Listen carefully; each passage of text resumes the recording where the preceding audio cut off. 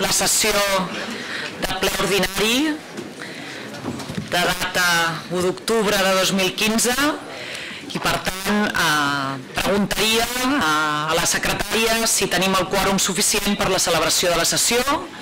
Moltes gràcies. Doncs eh, demanaria també als senyors i senyores diputats a l'aprovació de l'acte de la sessió anterior o si tenen alguna esmena a fer-hi, si us plau, que puguin manifestar-ho. Algun grup? Si no hi ha doncs, cap consideració, els hi agraeixo doncs, l'aprovació de les actes eh, anteriors i passaríem als punts de l'àrea de presidència. Per tant, eh, demanaria a la Secretaria General que es donés lectura de la documentació que s'integra a l'ordre del dia. Vull recordar que el punt segon no sotmet a votació, atès que el ple es dona per assabentat, eh, el punt tercer sí que es sotmet a votació i demanaria si algun grup no hi té inconvenient de fer lectura conjunta del punt 4 al punt 14 amb dos inclosos, eh, perquè són tot delegacions de municipis eh, cap a l'organisme doncs, de gestió tributària. Si no hi tenen inconvenient, podríem donar lectura conjunta d'aquests punts. Algun comentari? Doncs demanaria ja des de secretaria que es fes la lectura. Gràcies. Per mi, senyora presidenta. De l'àrea de presidència de la Secretaria General, punt número 2, dictamen de la presidència pel qual es proposa donar-se per assabentat de la composició de les comissions informatives i de seguiment i de la Comissió Especial de Comptes, així com de la integració dels diputats i diputades en cadascuna d'aquestes comissions. El servei de programació... Hi ha alguna qüestió? És un assabentat? Gràcies. Següent punt. Del servei de programació, punt número 3, dictamen pel qual es proposa aprovar la modificació de crèdit 15-2015 el pressupost general de la Diputació de Barcelona per l'exercici 2015 que recull crèdits extraordinaris, suplements de crèdit i transferències de crèdit, així com aprovar l'actualització del Pla Estratègic de Subvencions 2015 i del Pla d'Inversions 2015 i donar-se per assabentat de l'avaluació del compliment de l'objectiu d'estabilitat pressupostària en compliment d'allò que disposa l'article 16.2 del Real Decret 1463 de 2007 de 2 de novembre i d'acord amb el Pla Econòmic Financer de la Diputació de Barcelona. Gràcies. Hi ha alguna intervenció? Per part eh, de la CUP té la paraula el senyor Duran. Gràcies, senyora presidenta. El grup polític de CUP Poble Actiu a la Diputació de Barcelona no donarà suport en aquesta modificació de crèdit i no ho farà per diversos motius, principalment perquè hem contemplat que aquesta modificació de crèdit eh, contempla una subvenció de 30.000 euros a una entitat que es diu Pro Beach Soccer SL, una societat limitada de futbol playa professional. En el seu moment, en la comissió informativa i de seguiment de l'àrea ja em van demanar informació i se'ns va, se va facilitar. Nosaltres entenem eh, amb aquesta modificació que vostès fan crèdits extraordinaris, fan suplements de crèdit, fan transferències de crèdit i clar, com que aquests, aquestes modificacions ens afecten directament al pla d'inversions i al pla de subvencions 2015 d'aquesta casa, doncs posats a, a modificar o a suplementar, creiem que aquesta casa hauria de, donar, hauria de donar de baixa la consignació de 70.000 euros al Centre d'Estudis Jordi Pujol, Considerem que a data 1 d'octubre de 2015 és indigne d'aquesta casa que s'assigni ni un sol euro a un centre que porti aquest nom. Igualment, considerem que s'hauria de replantejar l'import de la cooperació internacional directa que està consignat en 808.942 euros. Igualment, en aquest pla de de subvencions i inversions considerem que s'haurien de considerar evidentment a la baixa totes les aportacions que es fan a comunitats religioses i que hi ha altres espais, associacions, fundacions com ara la de Paco Candel que tan sols en té 3.000 euros. Considerem igualment que s'hauria de replantejar l'aportació de 2 milions d'euros al circuit de Catalunya o la de 158.000 euros al Reial Club de Polo. Examinant aquesta documentació que forma part integrant d'aquest eh, dictamen, eh, observem poca inversió en el pacte industrial de la regió metropolitana. Des de la CUP Poblatiu, nosaltres apostem per la revitalització del teixit productiu de la nostra província. Una altra partida que creiem que s'hauria de considerar és l'aportació, i ja en parlarem posteriorment quan parlem de la moció en referència als atacs urbanístics al Parc del Montseny, considerem que s'hauria de replantejar l'aportació de 100.000 euros a la creació de l'Observatori del Turó de l'Home amb un acord amb el Servei Meteorològic de Catalunya que el que fa és directament trinxar el territori. I finalment, Sobta crida l'atenció que en tot el 2015 l'única construcció d'una biblioteca amb una aportació de 2,4 milions d'euros hagi estat la de la Biblioteca de Martorell. Gràcies. Gràcies uh, per part del de, uh, grup d'Entesa. Pel Partit Popular no hi ha demanada la paraula. Per d'Entesa té la paraula el senyor Funes. Gràcies, presidenta. Eh, bon dia i bona tarda a tothom. Mm, per no insistir en algunes coses que, que ha explicat el portaveu que m'ha precedit, per nosaltres és, és eh, un tema urgent en aquest mandat que abordem com fem les modificacions de crèdit. Són modificacions de crèdit enormes on, on hi ha molts temes, moltes activitats, moltes subvencions directes, moltes qüestions que tenen a veure amb activitat municipal, amb subvencions a municipis.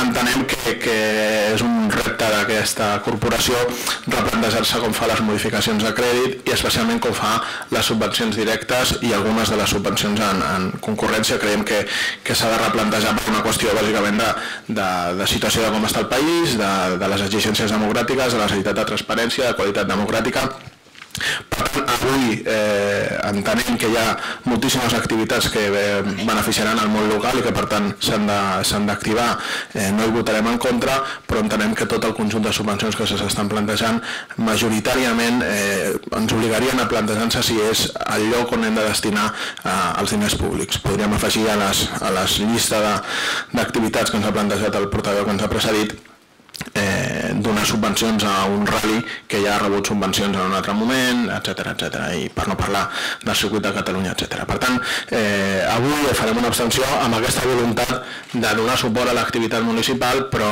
si les modificacions de crèdit continuen sent farcides de petites subvencions directes adreçades a activitats que per nosaltres estan més en l'esfera de lo privat que en l'esfera de lo públic, no, no hi donarem suport. Moltes gràcies per part de el Convergència i Unió. Té la paraula el senyor García Cañizar.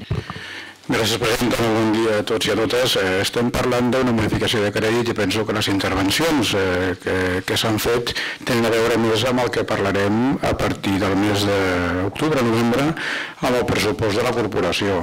El que estem fent amb aquesta modificació de crèdit és eh, donar compliment a compromisos que havien hagut durant el mandat anterior. Per tant, estaven, estàvem amb l'obligació d'aquells compromisos que estaven presos en el seu moment es pogués donar sortida. Aquesta és la voluntat i crec que de les intervencions se'n deriva que se'n parlen de qüestions eh, que sí que podem negociar, que podem parlar en el pressupost del 2016, però que no tenen lloc en aquesta modificació de crèdit eh, concretament.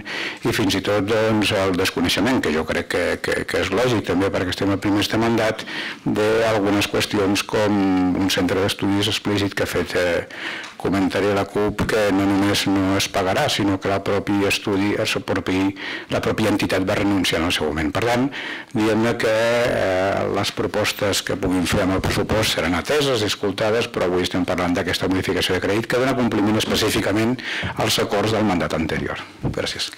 Moltes gràcies. Uh, si no hi ha més intervencions, demanaríem doncs, l'aprovació d'aquest punt. Vots a favor? Tenem eh, els portaveus, amb els portaveus és suficient. Abstencions i vots en contra per part de la CUP, tres vots en contra. Per tant, donaríem doncs, per aprovat aquest punt i ara sí que els demanaria la lectura conjunta dels dictàmens del 4 al 14 amb dos inclosos. Permís, senyora presidenta de l'organisme de gestió tributària dictàmens del 4 al 14, pel quals es proposa l'acceptació de la delegació, la modificació, la, la clarificació acordada pels plens dels ajuntaments i de les entitats que es diran a favor de la Diputació de Barcelona de les funcions de recaptació de tributs i determinats ingressos de dret públic municipals i alhora confirmació i clarificació de l'abast d'anteriors acords de delegació. Els ajuntaments i les entitats són les següents. Ajuntament de Barberà del Vallès, Ajuntament de Canovelles, Ajuntament de Capolat, Ajuntament de Corbera de Llobregat, Assemblea General de la Mancomunitat Intermunicipal Voluntària de la Plana, Ajuntament de Manlleu, Ajuntament de les Masies de Voltregà, Ajuntament del Pont de Vilomar i Rocafort, Ajuntament de Sant Fos de Capcentelles, Ajuntament de Santa Maria de Palau Tordera i Ajuntament d'Ullastrell. Moltes gràcies. Grups que volen fer ús de la paraula en aquest punt. Si no hi ha intervencions, doncs eh, demanaria també als portaveus que eh, fessin l'aprovació, per tant, vots a favor. Gràcies, eh, no hi ha abstencions, per tant queda doncs, aprovat. Passaríem eh, ja a la part expositiva i no resolutiva de la sessió, que és el seguiment i control de la gestió corporativa i per tant eh, demanaria ara ja als diferents grups també doncs, que han anat eh, interposant o presentant les mocions eh, que doncs, eh, fessin proposta de posicionament. En primer lloc, el que demanaríem, en tot cas, és que des de Secretaria General es donés lectura als acords de la moció proposada. El punt cinquè és la moció que presenten conjuntament els grups de CUP, eh, Procés eh, Poble Actiu, CiU i Esquerra Republicana eh, sobre l'organització territorial de Catalunya. Pot donar lectura. Sí, en permís, els acords proposats són els següents. Primer, donar suport des de la Diputació de Barcelona al model d'organització territorial que desenvolupa la Llei de Vegueries de Catalunya. Segon, emplaçar el Parlament de Catalunya i el Govern de l'Estat espanyol a avançar en els canvis legislatius necessaris per tal d'implementar aquesta llei i que en cas de negativa per part d'aquesta segona institució, el Parlament de Catalunya, en el marc del procés de transició nacional cap a la República Catalana, situï com a prioritat l'aprovació i el desenvolupament de la nova llei d'organització territorial. I tercer, mostrar el suport i compromís de la Diputació de Barcelona en el reconeixement de la vegueria del Penedès. Gràcies. Ara sí demanaria doncs, als diferents grups que es vulguin posicionar. Per part de la CUP, senyora Rovira, eh, té la paraula. Bé, en, bon dia a tots i a totes. I en primer lloc dir que, que entenem que és important que s'aprovi aquesta moció, ja que el passat 27 de juliol del 2010 el Parlament de Catalunya ja, ja va aprovar la llei de, de vegueries. No? Per tant, creiem que és necessari començar aquest procés de la substitució de les diputacions provincials pels Consells de Vegueria i també lligat al procés de, cap a la República Catalana que s'està vivint actualment després de les eleccions i de la flagrant victòria no, de l'independentisme i d'una majoria social que vol construir un país nou, doncs cal que ens comencem a dotar d'estructures pròpies per tal de governar-nos a nosaltres mateixes i mirar com gestionem em, les nostre, els nostres diners no? i d'aquesta manera construïm eh, una societat col·lectiva no? amb una bona distribució de, del treball i la riquesa. Per tant, creiem que és important que, que des de la Diputació de Barcelona es faci un pas més i, i per tant que es comenci a desenvolupar realment aquesta llei de vegueries de Catalunya. Alhora creiem que també és important com a gest polític que s'emplaci des de la Diputació de Barcelona al Parlament de Catalunya i al Govern de l'Estat espanyol a avançar els canvis legislatius necessaris per tal de que es pugui implementar aquesta llei i també creiem que és necessari no, mostrar el nostre suport i compromís des d'aquí, des de la Diputació, en el reconeixement de, de, la, de vegueria del Penedès. I després també volem, també volem mostrar que és necessari que perquè tot això s'apliqui, perquè tot això realment tingui una transcendència real per les persones, que no es comenci a fer el joc o que no es continuï fent joc a l'equidistància que s'està fent ara, també amb l'estat espanyol i que ens sorprèn no? que mentre hi ha grups que estan donant suport a aquesta moció eh, la presidenta de, de la Diputació s'adhereixi a la Federació Espanyola de Municipis i Províncies. No? Entenem que és important fer passos ferms, fer passos per avançar cap a la sobirania real de construcció de, construcció de les noves estructures i, i per tant creiem que amb això cal ser contundents. Moltes gràcies per part del grup popular. Té la paraula el senyor Reyes. Sí, hola, buen día. Desde el Partido Popular, nuestra posición en relación a esta moción será de voto en contra, como no podría ser de otra manera. ¿Por qué tocar una administración como es la Diputación de Barcelona, que funciona correctamente y que está dando buen servicio a los ayuntamientos? ¿Por qué tocarlo y cambiarlo por algo que no sabemos cómo funcionará? Por ello, desde el Partido Popular, instamos a que se siga trabajando como lo, ha hecho históricamente esta Diputación y el resto de las Diputaciones catalanas al servicio del municipalismo, al servicio de los ayuntamientos, al servicio de las personas.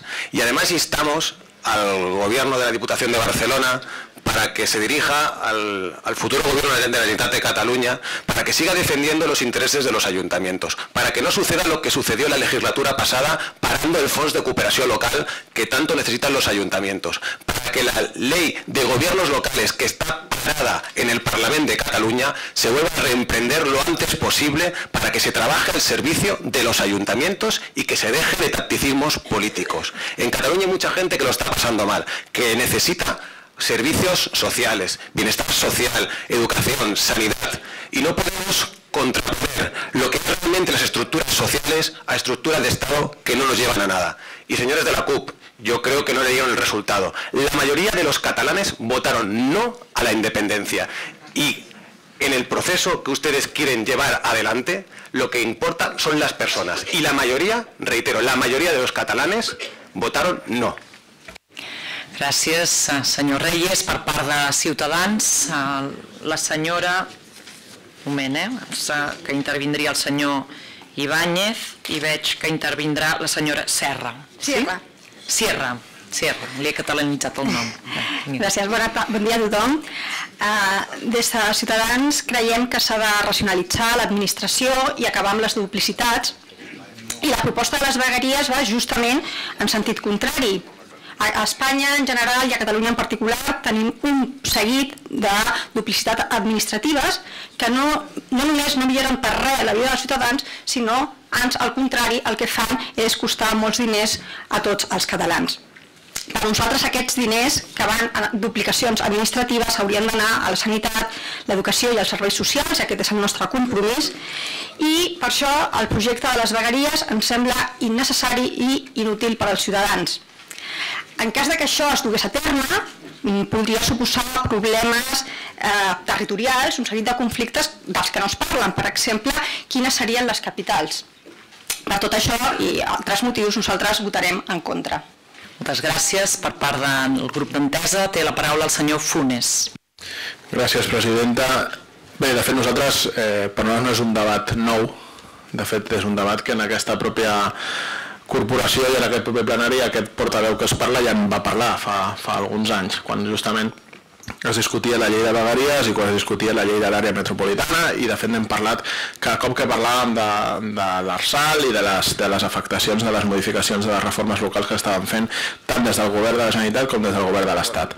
Per nosaltres eh, hi, ha una, hi ha un punt de partida bàsic amb el qual estem d'acord, que és en allò que apareix en l'Estatut, que és la vegueria i els municipis són l'organització territorial bàsica de Catalunya. I aquest és el nostre punt de partida i aquí és on estem nosaltres. Evidentment, per tant, això s'entén que donarem suport a la moció perquè entenem que el plantejament a on hauríem d'arribar és que aquestes vegueries i aquests municipis fossin els ens des del qual no només es descentralitzés l'acció municipal, sinó també es desconcentrés molt bona part de l'activitat i de l'actuació que pugui fer la Generalitat, l'actual i la futura. Però nosaltres creiem que ha de ser un espai de centralització, de desconcentració, defensem les vegueries i, i per tant, eh, creiem que, sota el nostre parer, amb independència del procés que visqui Catalunya, en benefici dels ciutadans i de les ciutadanes, necessitem estructures eh, intermitges, de governs municipals intermitjos, que ens ajudin a millorar la vida dels nostres ciutadans i ciutadanes i les vegueries eh, ho són. Per tant, aquesta moció el que fa és emplaçar a, a, no només a la pròpia Diputació, sinó al govern de l'Estat i al govern de Catalunya a intentar articular una organització territorial que millori l'eficàcia i l'eficiència dels serveis públics i en aquest cas nosaltres, en contra del que han dit els portaveus que ens han precedit, creiem que evidentment la vegueria ha de ser l'espai preferent de, de coordinació, de mancomunació, de eh, suport als ens municipals i per tant eh, hi donem suport. Sobta, de totes maneres, i permetim la, la petita llicència, que eh, donem suport i fem aquest debat en aquesta Diputació pocs dies després d'haver celebrat unes eleccions autonòmiques on se suposa que els diferents partits polítics aquí representats estàvem emplaçats a fer una proposta pel conjunt de Catalunya, pel conjunt dels ciutadans i ciutadanes de com volem organitzar el nostre territori. Hem fet una petita revisió dels programes electorals de tothom, inclosos els partits que ens presenten la moció, i veiem que hi ha desajustos importants entre el que es diu a la moció i el que diuen els, els programes electorals, per no dir absències importants de, de la proposta de model territorial en els, en els seus programes. Tot això, entenem que, que és una proposta que beneficiaria el conjunt de la ciutadania, per tant, eh, hi donem suport amb el benentès que és la nostra la nostra proposta és aquesta, és donar-los una organització territorial de 8 vegueries, que és com hem, com hem pactat i com hem defensat sempre, donant un paper central als municipis i en molts casos centrant el paper dels Consells Comarcals com a instruments bàsics de mancomunació de serveis, però que la, la, la institució potent de la cooperació intermunicipal ha de ser la vegueria i no el Consell Comarcal. Sobte perquè això no és el que s'estava discutint a la llei que ens, que ens reclamava el, el portaveu del Partit Popular esperem que el proper Parlament, en virtut del que avui s'està aprovant aquí, entengui que el futur de l'organització territorial passa per aquesta duplicitat, vegueries, municipis. Gràcies i, insistim, donem suport a la moció. Moltes gràcies per part del grup socialista. Té la paraula la senyora Díaz. Gràcies, presidenta. Si em permet, a més a més, faré una lectura molt breu d'unes declaracions eh, que diuen el següent. No és el moment de parlar gaire de la vegueria Penedès en els temps que corren, quan més aviat la sensació que hi ha és que sobren administracions, posar ara aquest debat sobre la taula serà pitjor el remei que la malaltia. Aquestes declaracions no són meves ni són de cap diputat diputada del meu grup, són del, del president de la Generalitat, del senyor Artur Mas, precisament a, a Vilafranca del Penedès, i només cal revisar la hemeroteca eh, eh, per recordar les paraules que acabo de llegir, que a més a més en aquest cas i en aquest sentit i en aquest ple nosaltres sí que faríem nostres, perquè pensem que ara precisament no és el moment, un moment en què acabem de sortir d'unes eleccions a Catalunya, el que tenim un govern en funcions i en el que pensem que tenim altres prioritats. I no esmentarem les que han esmentat eh, alguns portaveus que m'han precedit. Parlaré d'unes que a més a més ens afecten molt directament als municipis. Una és la llei de governs locals, aquesta llei que esperàvem amb urgència per poder blindar la laminació de l'autonomia municipal que ha suposat l'aprovació de l'ARSAL per part del govern del PP, per part del govern d'Espanya. L'altra és la de finançament local. Tenim lleis, lleis molt, molt urgents que les estem esperant des dels municipis per poder treballar en favor de la nostra ciutadania i torno a dir, per poder sobretot blindar la nostra autonomia local, la nostra autonomia municipal. A nosaltres ens hagués agradat veure que les primeres mocions en aquesta Diputació anaven en aquest sentit, anaven a demanar l'aprovació d'aquestes lleis i això no ha estat possible. Efectivament, la llei de vegueries és una llei aprovada al Parlament i per tant nosaltres el que esperem és el desplegament de, de la llei. Però pensem que torno a dir, tenim altres urgències, precisament ara portar aquí, obrir el debat de nou eh, d'una vegueria que no està inclosa a la llei aprovada, que és per la qual hauríem de treballar, no és el moment oportú i per aquestes raons el nostre grup votarà en contra. Moltes gràcies. Per part del grup d'Esquerra té la paraula el senyor Fàbregas. Bé, nosaltres hi votarem a favor dir sí que té més sentit que mai en aquests moments de, que estem visquent històrics com a país tirar endavant aquesta moció sobre l'organització territorial del país i sobretot disposar ja d'una llei de vegueries que es pugui desenvolupar. I això no entra en contradicció amb el que representa la institució de la Diputació de Barcelona com a resta de diputacions de demarcacions provincials. Perquè nosaltres defensem en el marc d'aquesta moció dos objectius. Primer, que el govern de la Generalitat s'ha de poder descentralitzar en el territori, per tant ha de ser un govern pròxim a la ciutadania, i per tant les seves competències, la seva representació, que en aquests moments representen els delegats del govern, estigui en el marc de les noves vegueries i també el que en aquests moments són les demarcacions provincials, que és en aquest cas les diputacions. Per què? Perquè l'assistència al món municipal ha de ser la mateixa que en aquests moments fa la Diputació de Barcelona, inclús jo diria que més, per una raó molt senzilla, per la proximitat. I això, a més a més, en aquest context històric, té més sentit que mai. Fa de quatre dies que hem viscut unes eleccions autonòmiques, d'alguna manera hem dit publicitàries, les més participades a la història del nostre país. I la ciutadania ha dit clarament que no està d'acord en el marc actualment establert. Vol un nou marc jurídic i polític.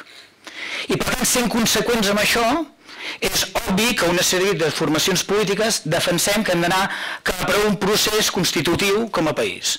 D'una república catalana d'homes lliures i dones lliures. I és en aquest marc que té sentit que també plantegem un model organitzatiu. I per tant, nosaltres tenim una moció que l'estat espanyol impulsi. Sabem que l'estat espanyol difícilment impulsarà. Per tant, plantegem que en aquest marc constitutiu de la República Catalana, que alguns creiem i a més a més hi treballarem fermament, és quan s'ha de desenvolupar les vegueries. També dir-vos a tots plegats que eh, jo crec que el govern d'aquesta Diputació hem començat un canvi en el nostre marc mental. Cada vegada més els diputats treballem en l'àmbit del que ja haurien de ser les futures vegueries. I quan anem pel territori ho fem des d'un plantejament de vegueria. I aquest és un canvi del marc mental nostre que jo crec que és important que com a govern puguem realitzar. I dues últimes afirmacions. Jo vull dir al senyor Royes del Partit Popular que miri, qui, Royes diu? Reyes. Diu següent, si una cosa està molt clara que no va guanyar Catalunya el 27 de setembre és el Partit Popular. No només no guanyar, sinó que la seva eslògan de campanya, bueno, que en allò, no? Juntos mejor, ganamos, unidos ganamos, doncs miri, el poble, el poble de Catalunya va dir que junts, per construir un nou marc polític, guanyem. Això sí que ho va dir ell. Ho diu claríssimament. I jo diria més, i també els senyors de Ciutadans, si una cosa està clara que s'obre en aquest país són els ministeris ineficients de l'estat espanyol i aquí ens podríem estalviar moltíssims diners per part de l'Estat. O sigui, quin sentit té el Ministeri de Cultura pel nostre país? Quin sentit té el Ministeri d'Administracions Públiques que l'únic que fan és intentar retallar l'autonomia del món local de tot l'Estat? Per tant, si algunes administracions sobren, que és veritat que en sobren, és les administracions de l'estat espanyol. No ens fan falta. I per això vostès han de respectar que aquí hi ha una posició d'una part de partits polítics que defensem un procés constituent, com dèiem. Nosaltres, dins d'aquest procés constituent, defensem un nou model organitzatiu i polític del nostre país. I això és absolutament lícit. I aquí segurament ens, ens hi veurem, no? No hi estarem d'acord. Però vostès, si són demòcrates, el que també hem de respectar és que la majoria de formacions polítiques d'aquesta institució, que representem la majoria també de diputats d'aquesta demarcació provincial, doncs clarament defensem que el poble de Catalunya plebiscitàriament el 27 de setembre va demanar, i nosaltres serem conseqüents tots plegats, que anem cap a un nou objectiu polític d'un procés constituent que defensem. Gràcies. Eh, per part de Convergència i Unió té la paraula el senyor García Cañizares. Gràcies, presidenta. Eh, per no allargar-me, perquè penso que quan parles l'últim tens el risc de, de repetir-te, estem en un moment molt determinat de la història, estem en un moment de transició, el 27 vàrem decidir que el procés de, cap a l'estat propi eh, segueix caminant i estem discutint una divisió territorial que, que ja va aprovar l'Estatut de Catalunya, que ja ha quedat enrere, i estem discutint una proposta de divisió territorial que el propi país, el propi estat, l'estat català haurà de decidir. Per tant, és pertinent que en parlem en aquesta administració, perquè és una administració eh, territorial que eh, ha de desaparèixer cara la, al naixement de les vegueries. Això ja era una cosa assumida, eh, aquesta administració ho ha assumit des de l'inici, ho deia abans un portaveu que ja n'hem parlat en, en aquesta mateixa eh, sala de sessions de com es pot dividir Catalunya en el futur, quan es va fer la llei territorial i ara que estem en un procés de transició, evidentment, hem de parlar des d'aquesta administració de com es dividirà el territori amb administracions. És evident que les vegueries, com la Diputació, seran estaran nodrides d'administració local i també d'administració del país, de l'Estat, en el moment que sigui necessari, que per tant n'hem de parlar en profunditat. Però potser sí que és un pèl prematur parlar del contingut de les competències de les vegueries però no és en absolut la idea de defensar una divisió territorial pròpia, que és la de Catalunya, que no és, eh, és una novetat però que històricament ja existia i per tant l'hauríem de recuperar. En quant a, a les nostres o la representació que puguem tindre a alguns òrgans de l'Estat o de l'Estat nacional, jo crec que de l'Estat espanyol, jo crec que en un moment de transició és important tindre representació a tot arreu perquè sigui com sigui haurem de negociar la sortida de l'estat espanyol i està bé que un representant doncs, de, de la Diputació de Barcelona, en aquest cas la presidenta, estigui en una associació de municipis de la qual també ens haurem de desenganxar. Per tant, és eh, adient i és just que mantinguem els espais en aquells llocs que ens hem d'anar desconnectant per desconnectar-ho d'una manera coherent i lògica amb la proposta que estem fent d'estat propi. Moltes gràcies. Queda doncs manifestat la intenció de vot de cada un dels grups. Per tant, eh, entenc que podem eh, donar per aprovada la moció amb el suport dels grups de Convergència i Unió, eh, Esquerra Republicana i CUP. Senyor Funes, i entesa, disculpi, i, i, i entesa. I entenc el vot contrari de Partit Popular, Ciutadans i eh, Partit Socialista. Gràcies. Passem al punt sisè de l'ordre del dia, que és la proposta d'acord moció que presenta el grup CUP eh, de la Diputació sobre l'adhesió eh, de la Diputació de Barcelona a la xarxa de municipis acollidors. Té la paraula la senyora Sabater. Sí, moltes gràcies. Jo intervindré alhora per les mocions 2 eh, i 3, Sabatés, ah, disculpi, llegirà si li sembla... Ah, d'acord. M'ho he deixat. Sí. Llegirà si li sembla els, acord, els acords i després li dono la paraula. Gràcies. Permís. Els acords proposats són els següents. Primer, instar el govern espanyol a demanar una major dotació de recursos a la Unió Europea perquè es transfereixin a les administracions municipals augmentar el nombre de places d'asil i argumentar la dotació pressupostària per millorar la qualitat en l'atenció.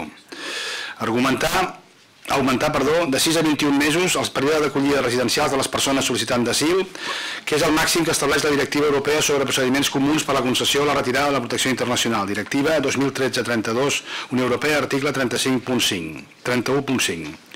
Treballar per ampliar el concepte de refugiada a totes aquelles persones que es veuen obligades a abandonar els seus països per motius econòmics en la línia del que proposa Stop Mare Mortum.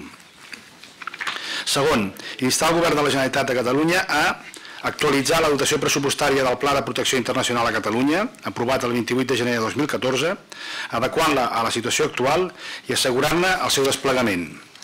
Territorialitzar els serveis d'atenció a les persones demandants d'asil i en paral·lel formar i o especialitzar aquelles persones dels municipis que s'hauran de fer càrrec del suport i l'atenció a les persones sol·licitants. Donar suport a la xarxa de municipis acollidors i facilitar-ne la coordinació i tercer, facilitar els tràmits des de la Diputació per a l'empoderament de totes les persones que declarin viure als municipis de la província de, Catalunya, de Barcelona i, conseqüentment, garantir-ne l'accés als serveis bàsics. Quart, facilitar, en el cas que no n'hi hagi, l'elaboració, revisió i actualització dels plans d'acollida municipals, comarcals i provincials per incorporar-hi l'asil. Cinquè, donar suport i col·laborar amb les entitats catalanes que treballen en l'acollida i el servei a les persones sol·licitants d'asil. Sisè, definir quin suport, servei i infraestructura pot oferir la Diputació de Barcelona per acollir les persones sol·licitants. Setè, treballar en la sensibilització de la població de la província de Barcelona sobre la realitat de les persones refugiades i la dinamització de les xarxes solidàries. I vuitè, participar de la xarxa de municipis acollidors de la província de Barcelona. Moltes gràcies. Senyora Sabater, els demanaria si podríem també eh, agilitzar, per agilitzar el debat, eh, fer conjuntament el debat de la propera moció, que és la sí. del punt setè.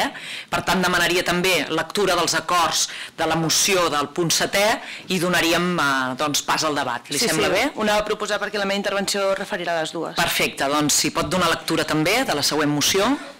Sí, en permís, els acords proposats són els següents. Primer, Instar el govern espanyol a demanar una major dotació de recursos a la Unió Europea per suport jurídic, assistència, acollida i integració social i que s'estableixin mecanismes perquè es transfereixin les administracions municipals per la gestió descentralitzada. Augmentar el nombre de places d'asil, també com la dotació pressupostària per millorar la qualitat en les diferents fases de l'atenció a aquest col·lectiu. Augmentar de 6 mesos a un mínim de 24 mesos el període d'acollida de les persones sol·licitants d'asil en funció de la vulnerabilitat de cada persona facilitar l'empadronament de les persones refugiades que hi ha entre les diferents municipis de la demarcació de Barcelona que s'han vist obligades a marxar dels seus països per motius econòmics i garantir-ne els serveis bàsics. Exigir als organismes responsables de la tramitació dels expedients de petició d'asil a resoldre amb celeritat els que estan en curs i traslladar a la Comissió Europea i al Consell de la Unió Europea la necessitat d'emprendre mesures urgents per a una implementació efectiva del dret d'asil i per posar en pràctica un autèntic sistema europeu comú d'asil que impliqui solidàriament tots els estats membres i que prioritzi les raons humanitàries. Segon, instar el govern de la Generalitat de Catalunya a actualitzar la dotació pressupostària del Pla de Protecció Internacional a Catalunya, aprovat el 28 de gener de 2014, adequant-ne a la situació actual i assegurar-ne el desplegament, territorialitzar els serveis d'atenció a les persones demandants d'asil i en paral·lel formar i o especialitzar aquelles persones dels municipis que s'hauran de fer càrrec del suport i l'atenció a les persones sol·licitants, donar suport als municipis acollidors i facilitar-ne facilitar la coordinació, donar suport als països d'asil normalment empobrits, on es concentren el 85% de les persones refugiades del món a través de la cooperació al desenvolupament o l'ajuda humanitària directa i indirecta, garantint els drets de totes les persones. Tercer, comprometre la Diputació de Barcelona en donar suport i col·laborar amb els ajuntaments de la demarcació de Barcelona en l'acollida i el servei a les persones sol·licitants d'asil, facilitar l'elaboració, en cas que no n'hi hagi, o revisar i actualitzar els plans d'acollida municipals o comarcals per incorporar-hi l'asil, definir quin suport, servei i infraestructura pot oferir la Diputació de Barcelona per acollir a les persones sol·licitants d'asil, endegar i garantir polítiques municipals de cooperació al desenvolupament amb vocació transformadora, donar suport als ajuntaments de la demarcació de Barcelona al desenvolupament de les seves accions respecte a aquesta iniciativa, iniciativa i la creació d'una xarxa catalana de ciutats refugi. Convidar el Fons Català de Cooperació al Desenvolupament a coordinar aquesta xarxa i a desenvolupar els projectes d'acolliment a totes les persones desplaçades per la guerra. Aprofitar els recursos i treballar de manera coordinada amb el Fons Català de Cooperació al Desenvolupament perquè en col·laboració amb les entitats que treballen la problemàtica pugui desenvolupar la seva feina d'acollir les famílies desplaçades i garantir la seva correcta atenció amb els procediments amb els professionals adients.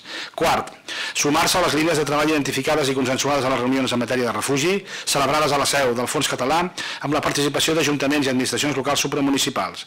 Aquestes són assistència a les rutes de fugida, suport als municipis de la ruta, planificació i gestió de l'acollida, acollida a Catalunya i educació pel desenvolupament a Catalunya respecte a les poblacions refugiats, dels refugiats. Cinquè, coordinar i concentrar els esforços del món local davant la situació d'emergència actual a través del Fons Català en col·laboració amb les entitats municipalistes per tal de tenir una veu conjunta que faci interlocució amb la Generalitat de Catalunya i el govern de l'Estat espanyol. I sisè, fer arribar aquest acord a tots els ajuntaments de la marcació de Barcelona, al Fons Català de Cooperació al Desenvolupament, a la Federació de Municipis de Catalunya, a l'Associació Catalana de Municipis, a la Generalitat de Catalunya i al govern de l'Estat espanyol. Moltes gràcies. Doncs uh, té la paraula la senyora Sabater i iniciem el debat. Gràcies. Uh, tal com proposem, doncs, eh, em refereixo a les dues mocions. Nosaltres hem decidit mantenir aquesta primera perquè em considera que té una mirada més àmplia sobre el qui és refugiat i qui no. La moció conjunta és molt detallada i els acords ens semblen bé, nosaltres hi votarem a favor també, és a dir, a favor de les dues, però tal com proposa la plataforma Stop Mare Mortum, no podem perdre de vista que les persones es veuen forçades a marxar dels seus països per causes tan diverses també com la seva ètnia, la seva religió, la seva, acció, la seva opció política o la seva orientació sexual i, i aquesta sí que doncs, nosaltres la manteníem en la proposta de moció, per tant eh, votarem a favor de les dues. Gràcies. Moltes gràcies. Per part del grup popular, el senyor Reyes té la paraula. Sí, desde el Partido Popular nosotros en primer lugar queremos lamentar esta grave crisis humanitaria que viven millones de personas, se cifra en casi, perdón, en casi 4 millones de personas que están huyendo del terror, de la guerra y que miles y miles han muerto lamentablemente. Y entendemos que para solucionar esto hay que dar una respuesta global. Y esa respuesta global se tiene que dar desde, desde el seno de la Unión Europea. En el ámbito nacional eh, pedimos y estamos convencidos que desde el Gobierno de España se tiene que liderar toda esta coordinación para poder asistir a esas personas que ven acogidas a nuestro país. Liderar en coordinación con las comunidades autónomas y por supuesto también con los municipios. De hecho, hace dos días en el Congreso de los Diputados eh, hubo un gran acuerdo eh, para una proposición no de ley en el cual se establecía el marco de colaboración que se tiene que realizar entre el Gobierno de España, las diferentes, fuerzas políticas y el resto de las administraciones. Y nosotros no damos soporte a estas dos mociones, nos abstendremos en ambas, ya que nosotros entendemos que el marco, que el acuerdo es aquel que está firmado por todos los grupos parlamentarios en el seno del Congreso. Además, también hay una enmienda presentada por todos los grupos parlamentarios en los presupuestos generales del Estado, por el cual 200 millones de euros se destinarán para poder dar asilo y reubicación a esas personas que vendrán a nuestro país. Y entendemos que España siempre ha sido un ejemplo de integración con personas extranjeras, con países que han tenido necesidades especiales, especialmente en el ámbito bélico. Por ello nosotros estamos convencidos que seguirá nuestro país siendo un ejemplo y entendemos que desde los ámbitos municipalistas y las comunidades autónomas se tendrá que trabajar, pero coordinados por el Gobierno de España. Moltes gràcies per part de Ciutadans. La senyora Sierra. Sí, nosaltres, tot i que compartim moltes de les coses que diu la moció de la CUP Poble Actiu, ens sentim més còmodes amb la general que presentem tots, amb la qual cosa ens abstindrem a la moció de la CUP i votarem a favor, com no podia ser d'una altra manera, de l'altra. Moltes gràcies. gràcies. Per part d'Entesa, el senyor Asens té la paraula. Sí, bon dia a totes i a tots. Eh, nosaltres eh, votarem a les dues eh, mocions, tot i que tenim un punt de discrepància amb la moció de les CUP, eh, però és un punt menor que no ens impedeix votar en sentit favorable.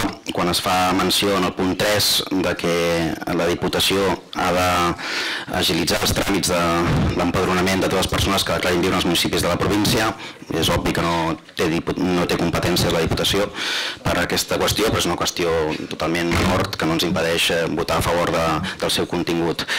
I bàsicament sostenim aquest vot eh, favorable eh, pel fet de considerar que estem, eh, és, per nosaltres és, aquest vot és un acte de coherència, de dignitat, de decència i de responsabilitat. I m'atreveria a, a dir que també un acte de fraternitat que ha de, ha de fer que, que més enllà de les diferències que tenim tots els grups eh, aquests, aquest drama ens interpel·la a, a tots i hem d'estar de, per sobre aquestes diferències. En aquest sentit apreciem la, la valentia d'alguns grups que, que, que formen part de, de, del govern de la Generalitat i que per tant són, són part interpel·lada. I en aquest sentit també lamentem la covardia del Partit Popular que s'ha fet enrere enrere a l'hora d'aprovar una, una moció que era de, de consens. Com els, com els deia, eh, estem davant d'una situació excepcional, una crisi humanitària global. La ONU ha parlat de 60.000 de 60 milions perdó, de persones de, desplaçades al món, més de 42.000 cada dia abandonen la seva casa, vivim quotidianament aquí a la porta de casa, de casa nostra.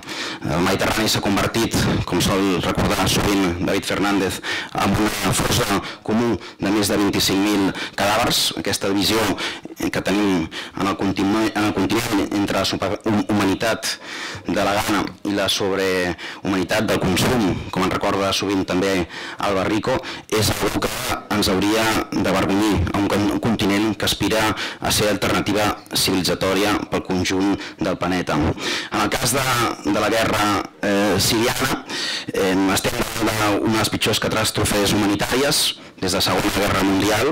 Tots recordem els eh, centenars de milers de, de jueus i d'altres persones que van a fugir de les purgues estalinistes i de l'abans del nazisme i en especial ho recordem també a Catalunya i a la resta de l'Estat davant del cop eh, feixista de, del franquisme on també eh, va haver fugir molta gent que va ser, va ser acollida a altres eh, països i que diem això perquè hem de recordar també aquesta, aquesta solidaritat eh, que hi ha hagut internacional cap a nosaltres i creiem que ara és un moment d'aplicar-ne.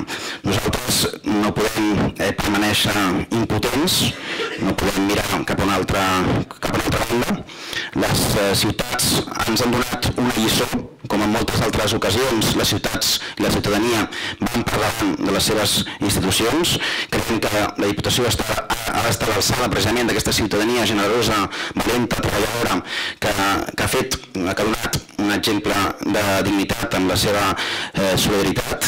I nosaltres, enfront els que construeixen murs, els que aproven eh, directives del retorn, els que alcen valles, els que instal·len concertines, concertines, nosaltres tenim un missatge pels refugiats que volem dir ben alt, que són benvinguts a casa nostra, la nostra casa és casa seva, si és que hi ha cases d'algú, com deia, com deia el CISA, i eh, per acabar, dir que no es tracta només d'una qüestió de, de defensa de, de dignitat, una qüestió de moral, ètica, d'imperatiu categòric, sinó que és una, una qüestió eh, jurídica. El dret a obtenir l'asil és un dret humà, no és només una qüestió de solidaritat, és una obligació jurídica i per tant hi ha un mandat, hi ha un dret internacional que ens obliga en matèria de refugiats a, a tirar endavant aquestes, aquest tipus d'intervencions, d'ajudes que, que estem impulsant des de Barcelona i altres ciutats. Moltes gràcies.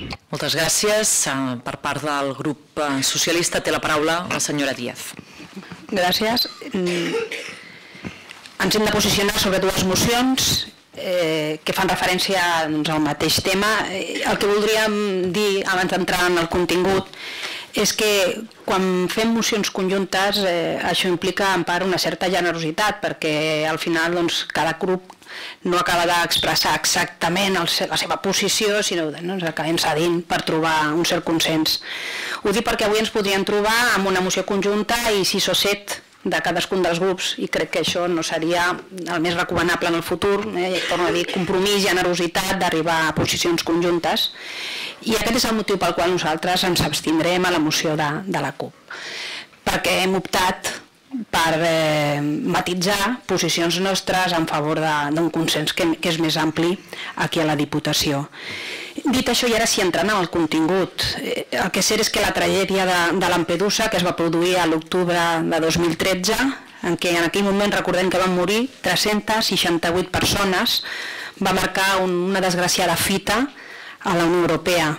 En aquell moment es van produir les reaccions de, dels dirigents comunitaris i també nacionals i eh, tot això ens va induir a pensar que, que es posarien solucions en marxa solucions perquè no es tornés a repetir aquesta tragèdia humana amb aquestes dimensions tan impressionants.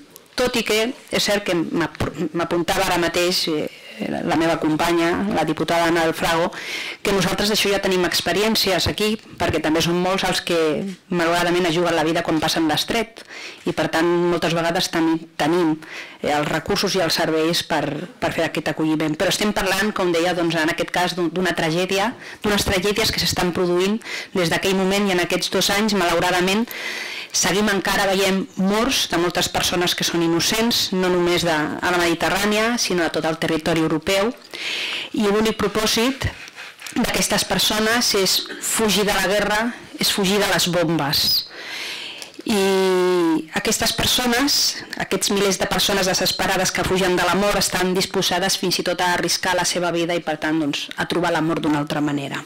Per tant, per nosaltres eh, són inacceptables aquestes tragèdies humanes, això ens ha portat no només avui a signar conjuntament aquesta moció, sinó amb la majoria dels nostres municipis també a adherir-nos a aquesta xarxa de ciutats acollidores a persones refugiades d'aquests conflictes de, armats i bèl·lics de la Mediterrània. Hem actuat ràpidament des dels municipis i eh, doncs, nosaltres ara també aplaudim que siguem capaços per unanimitat de posar-nos d'acord, d'aprovar aquesta moció i que des de la Diputació eh, donem el suport necessari eh, que necessitin aquests municipis, aquestes ciutats i aquests pobles de, de la demarcació de Barcelona per poder fer front al que encara desconeixem que serà en un futur bastant immediat. Per tant, votarem a favor. Moltes gràcies. Eh, per part del grup d'Esquerra té la paraula el senyor Fàbregas.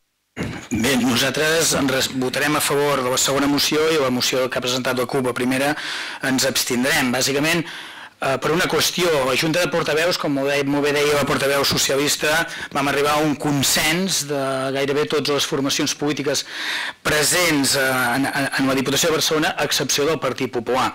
I a més a més vam poder arribar a un acord de refondre, eh, de refondre plantejaments que hi havien per part d'uns i d'altres, no?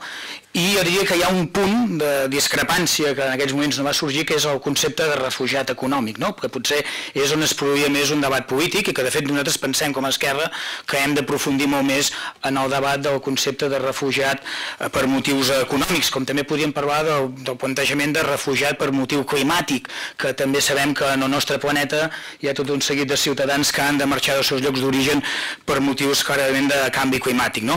Per tant, per això ens abstenim de, de la moció que planteja la CUP i votarem a favor de la moció que presentem la resta de grups. Dius-hi que, a veure, com que aquí estem en debat, que en el fons el que diem com a Diputació és anem, a donar suport a la xarxa de municipis acollidors, perquè la feina d'aquesta institució és donar recolzament a tot el món local, que com sabem el nostre país, i en el, en el cas de la nostra demarcació, la immensa majoria de municipis ja han presentat i han aprovat mocions de recolzament a l'acollida de, de, de refugiats, no? de refugiats per causa de violència. I, I en aquest sentit la nostra feina, com deia, és aquesta. Però dir-los també que és curiós, no? No amb la mateixa magnitud s'ha produït aquest fet en la resta de l'Estat. I deu ser perquè, com bé deia, i no hem entès encara, perquè el Partit Popular en aquesta Diputació no s'afegeix, no? Si ells parlen de que l'estat espanyol ha estat sempre una terra d'integració, mirin, hi ha, una, hi ha una dada curiosa, no? L'estat espanyol ha acollit tants refugiats els últims 30 anys com a Alemanya en 6 mesos. Eh? Una dada curiosa. Per tant, és per fer-los veure que realment la voluntat eh, respecte als refugiats no és com explica el Partit Popular en aquests moments en aquest, en aquest plenari, no? I al contrari, si una cosa hem de ser crítics és com ha actuat la Unió Europea respecte a la crisi dels refugiats. És a dir, el gran capital, quan ha tingut problemes sobre el rescat de Grècia, és ser capaç en 24 hores de reunir-se. Curiosament, amb el tema dels refugiats, no només no han ser capaços en 24 hores, sinó en aquests moments encara tenim molts dubtes de com es vol assolir la solució del conjunt del problema que representen els refugiats de milions de persones que venen cap a territoris de la Unió Europea. I dius que encara en aquests moments no desconec, com deuen desconèixer vostès, quin és el cupo que accepta l'estat espanyol respecte al nombre de refugiats que poden venir. Mentrestant, el que sí que està bé aquesta institució és que recolzem allò que ens demana la ciutadania. I mirin, el més important és que recolzem allò que demanen els plans dels ajuntaments de la demarcació de Barcelona. I el que demanen els ajuntaments de la demarcació de Barcelona és ser municipis acollidors. I això hi ha hagut un consens absolutament ampli. És a dir, qui està en minoria són aquells que no hi estan d'acord, en aquest cas el Partit Popular. La immensa majoria hem estat d'acord que no només ens convertim en municipis acollidors, sinó que a més a més facilitem a tota la gent refugiada els tràmits necessaris. De fet, nosaltres vam aconseguir incorporar una cosa que és important. També quan parlem de refugiats per motius econòmics, parlem de la gent que per motius econòmics ja viu entre nosaltres i que alguns pretenen que posem totes les traves possibles, per exemple, empadronament per exemple, a garantir els seus serveis bàsics, no? Quantes vegades algú ha pretès que no garantim els serveis bàsics als ciutadans nouvinguts al nostre país, bàsicament per motius econòmics. Per tant, jo crec que el que estem fent avui és una cosa important, és dignitat humana i, per tant, coherents amb nosaltres mateixos i en el sentit que sempre ha tingut el nostre país, Catalunya, que ha estat una terra de pas, ha estat una terra d'acollida i una terra d'integració constant. Doncs gràcies. Per part de Convergència i Unió té la paraula el senyor García Cañizar. Gràcies un altre cop. Eh, per posicionar el vot de Convergència i Unió votarem evidentment a favor de la moció que, que signem i ens abstindrem amb la proposta de moció que feia la CUP, justament perquè creiem que a la moció que presenten els grups polítics eh, ja s'han incorporat la major part de les propostes que feia l'altra moció, per tant entendríem que, que cal doncs, aquest esforç de consens que, que es comentava fa una estona, perquè en tot cas la moció que presentem conjuntament és una moció que també està consensuada amb la Ciutat Catalana de Municipis, amb el Fons de Cooperació i amb la Federació de Municipis, amb la qual cosa estem davant d'una proposta que té el consens de les associacions municipalistes del país i per tant caldria entendre que els que ens assentem en aquest espai estem defensant allò que és majoritari. En quant al, al gruix de la moció, és evident que la situació l'estem coneixent fa dies, no és eh, una qüestió menor i és evident que la situació que s'ha anat produint els últims mesos és una situació doncs, eh, d'un gran problema de la defensa dels drets humans i és evident que el que està succeint al, al nord d'Àfrica ens afecta d'una manera molt potent. Eh, hem de tindre en compte que la Mediterrània s'ha convertit en la frontera entre els estats europeus socials eh, democràtics i una zona que està en conflicte bèl·lic i que eh, no només està en conflicte bèl·lic, sinó que els drets humans s'estan allò eh, trepitjant d'una manera fregant i és evident que la manca de democràcia que hi ha en aquests espais està produint aquest, aquest moviment. Eh, ens pertoca com a, com a administració local fer un esforç important per integrar i per eh, acollir als refugiats, per una raó molt senzilla. Els drets humans són proclames doncs, històriques que es defensen en grans àmbits, però qui realment està fent la feina d'implantar els drets humans són els municipis, som la gent que estem a prop, som els que defensem dia a dia la dignitat de les persones. Per tant, és imprescindible que en aquest espai que és la Diputació i que representem ajuntaments, fem aquest esforç de tornar a, a defensar aquesta, aquesta defensa eh, dels drets humans d'una manera clara i dia a dia.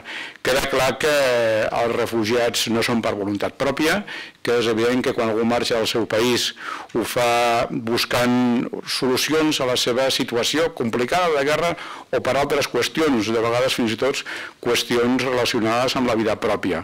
Davant tinguem clar que, que ens cal fer aquesta feina, tinguem també molt clar des dels municipis que aquesta és una proclama, que aquesta és una proposta, però que ens caldrà fer una feina molt important de conscienciar els ciutadans de la necessitat que tenim d'integrar totes aquestes persones que estan venint en les societats locals i que per tant les seves propostes i els seus senyals de futur siguin adequats amb les necessitats dels certs humans i especialment d'aquests que marxen d'aquesta manera. I per acabar, eh, parlar de refugiats eh, sembla llunyà i sembla que ho fem des d'un espai de confort, però refugiats fa molt pocs anys, un grapat d'anys, que hi havia de Catalunya arreu del món i que refugiats podem ser qualsevol de nosaltres, dels nostres ciutadans, qualsevol dia. Per tant, allò que voldríem per nosaltres, cal que en moments com aquests ho facilitem pels que venen d'altres llocs que estan en aquesta situació tan complicada que els obliga a fer aquesta transició tan complicada que més va acompanyada del risc de perdre la vida que entenc que és el que més valoren els humans i especialment si els eh, damnificats són nens. Gràcies. Moltes gràcies. Senyora Rovira, per qüestió d'ordre hauria d'intervenir molt curt, hauria d'intervenir la senyora Sabater que ha defensat la, la moció. La, la...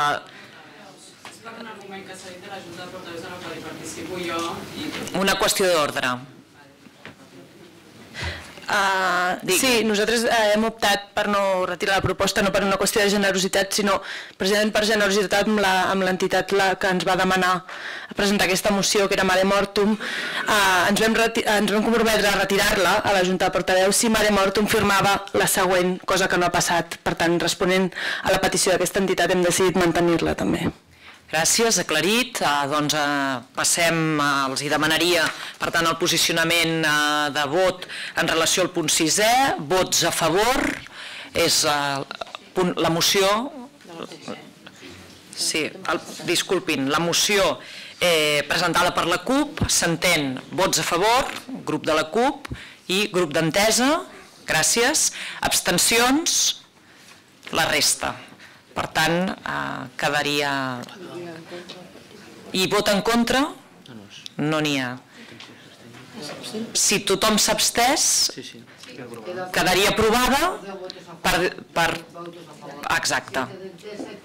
Molt bé, doncs queda aprovada i passem a la següent, eh, que és la que hem presentat conjuntament quatre grups, eh, cinc grups, disculpin, s'entén doncs, que aquests cinc grups estan a favor i el posicionament del Partit Popular era abstenció, doncs queda també aprovada.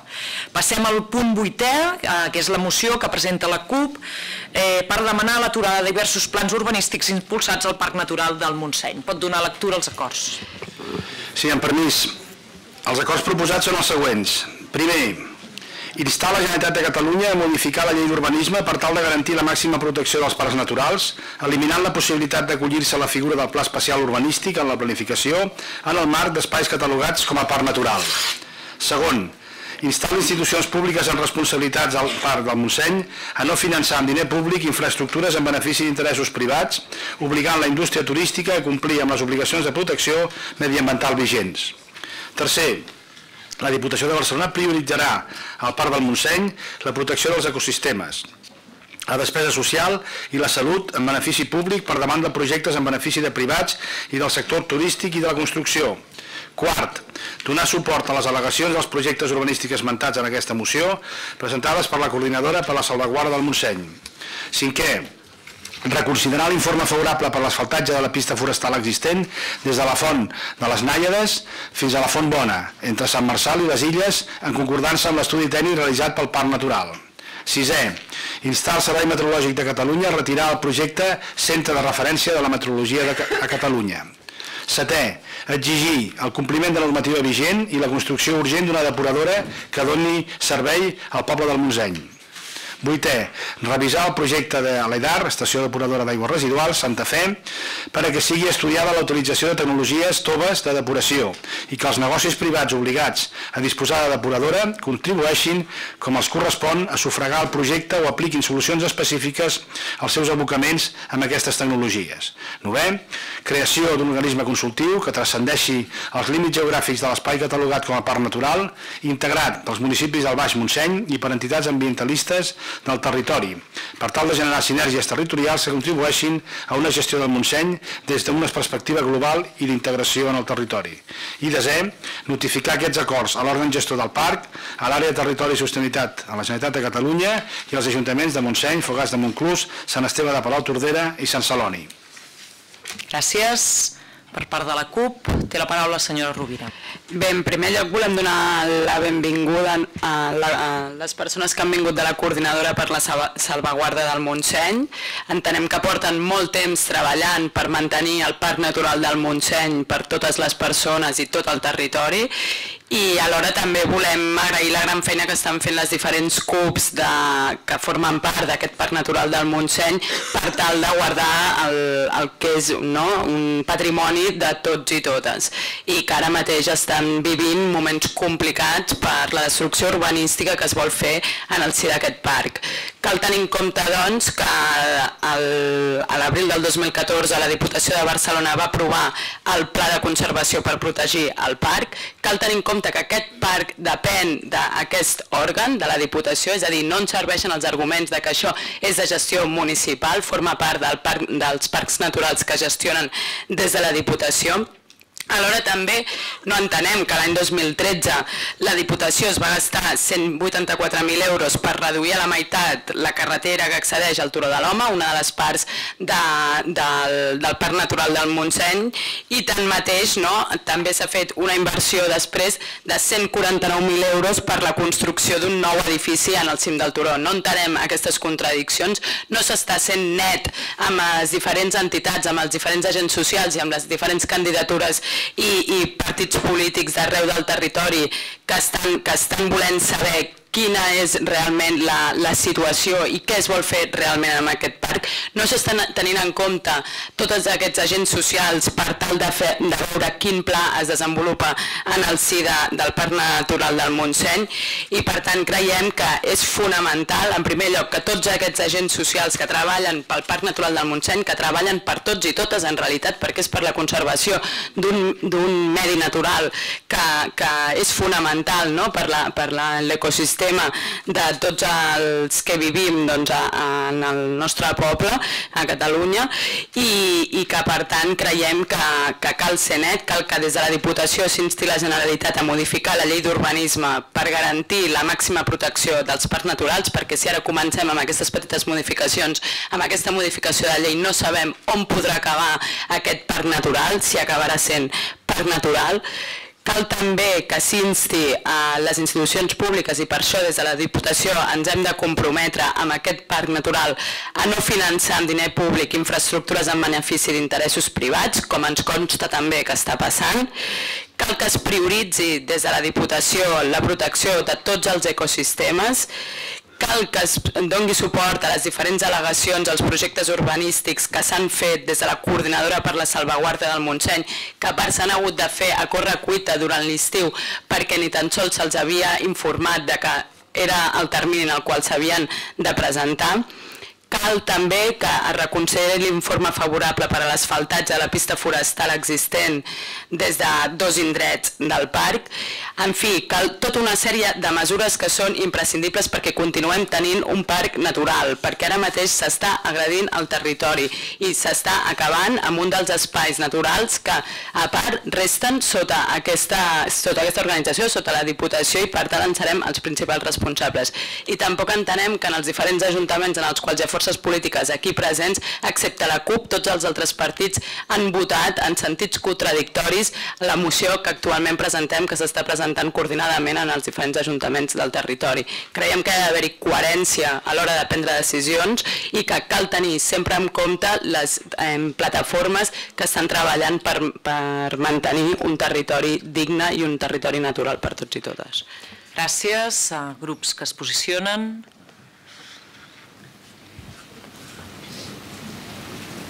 Per part del PP no demana la paraula, entesa tampoc, Ciutadans, sí? Uh, Ciutadans no, entenc. Doncs uh, el senyor Funes té la paraula. Gràcies, presidenta. Bueno, per dificultat suposo de, també de, del moment del mandat en el que estem i de, i de la logística i, de, i del moment complicat que teníem aquest mes no ha estat possible, però ja avancem que la nostra voluntat hagués estat poder cosignar aquesta, aquesta moció, la línia del que s'ha pogut fer en altres, en altres moments, perquè entenem que, que el plantejament que fa la coordinadora per la salvaguarda del Montseny és, és raonable, i va en la línia del que el nostre grup ha, ha plantejat tant en aquesta casa com, com al Parlament de Catalunya. No, no hi ha res que digui la moció que no vagi la línia del que hem plantejat, per tant ja avancem el nostre, el nostre vot eh, favorable. Nosaltres en aquesta moció eh, traiem dues conclusions i les dues eh, preocupants. Eh? La primera eh, és que, president, jo diria per, per història d'aquest ple, eh, faré, tiraré de la història, al ple passat ja vaig haver d'aguantar continus comentaris del grup del Partit Popular mentre jo intervenia. Eh, pregaria que en aquest mandat fossin capaços de que això no passés. Eh, perquè és, és habitual un run-run. No els he sentit, eh? Un run-run, bueno, vostè, estic lluny, estic lluny. Va, vostè va. no ho sent, però els que estem al costat d'ells és Va, endavant, seguim, un run-run seguim. habitual, perdó per la... Eh, perquè és habitual. Eh, insisteixo, nosaltres, hi ha una certa preocupació, jo crec que en el, en el territori pel paper del parc natural i pel futur del parc natural, però és una preocupació que jo crec que és compartida en altres indrets del país, eh, en aquests moments eh, jo crec que el país no es pot permetre replantejar què fem amb, el, amb els parcs naturals i per tant creiem que és important la defensa dels parcs naturals com a espai eh, bàsic de protecció i com a espai de, eh, bueno, de, de, de patrimoni del conjunt de la ciutadania. No? I per tant, ens preocupa el que està passant als parcs naturals, en concret el que està passant amb el parc natural del Montseny. I la segona preocupació és que ens preocupa molt que hi ha un canvi de papers aquí eh, estrany, on, on com que la Diputació de Barcelona està pel mig, eh, ens, ens sobta i ens resulta encara més preocupant.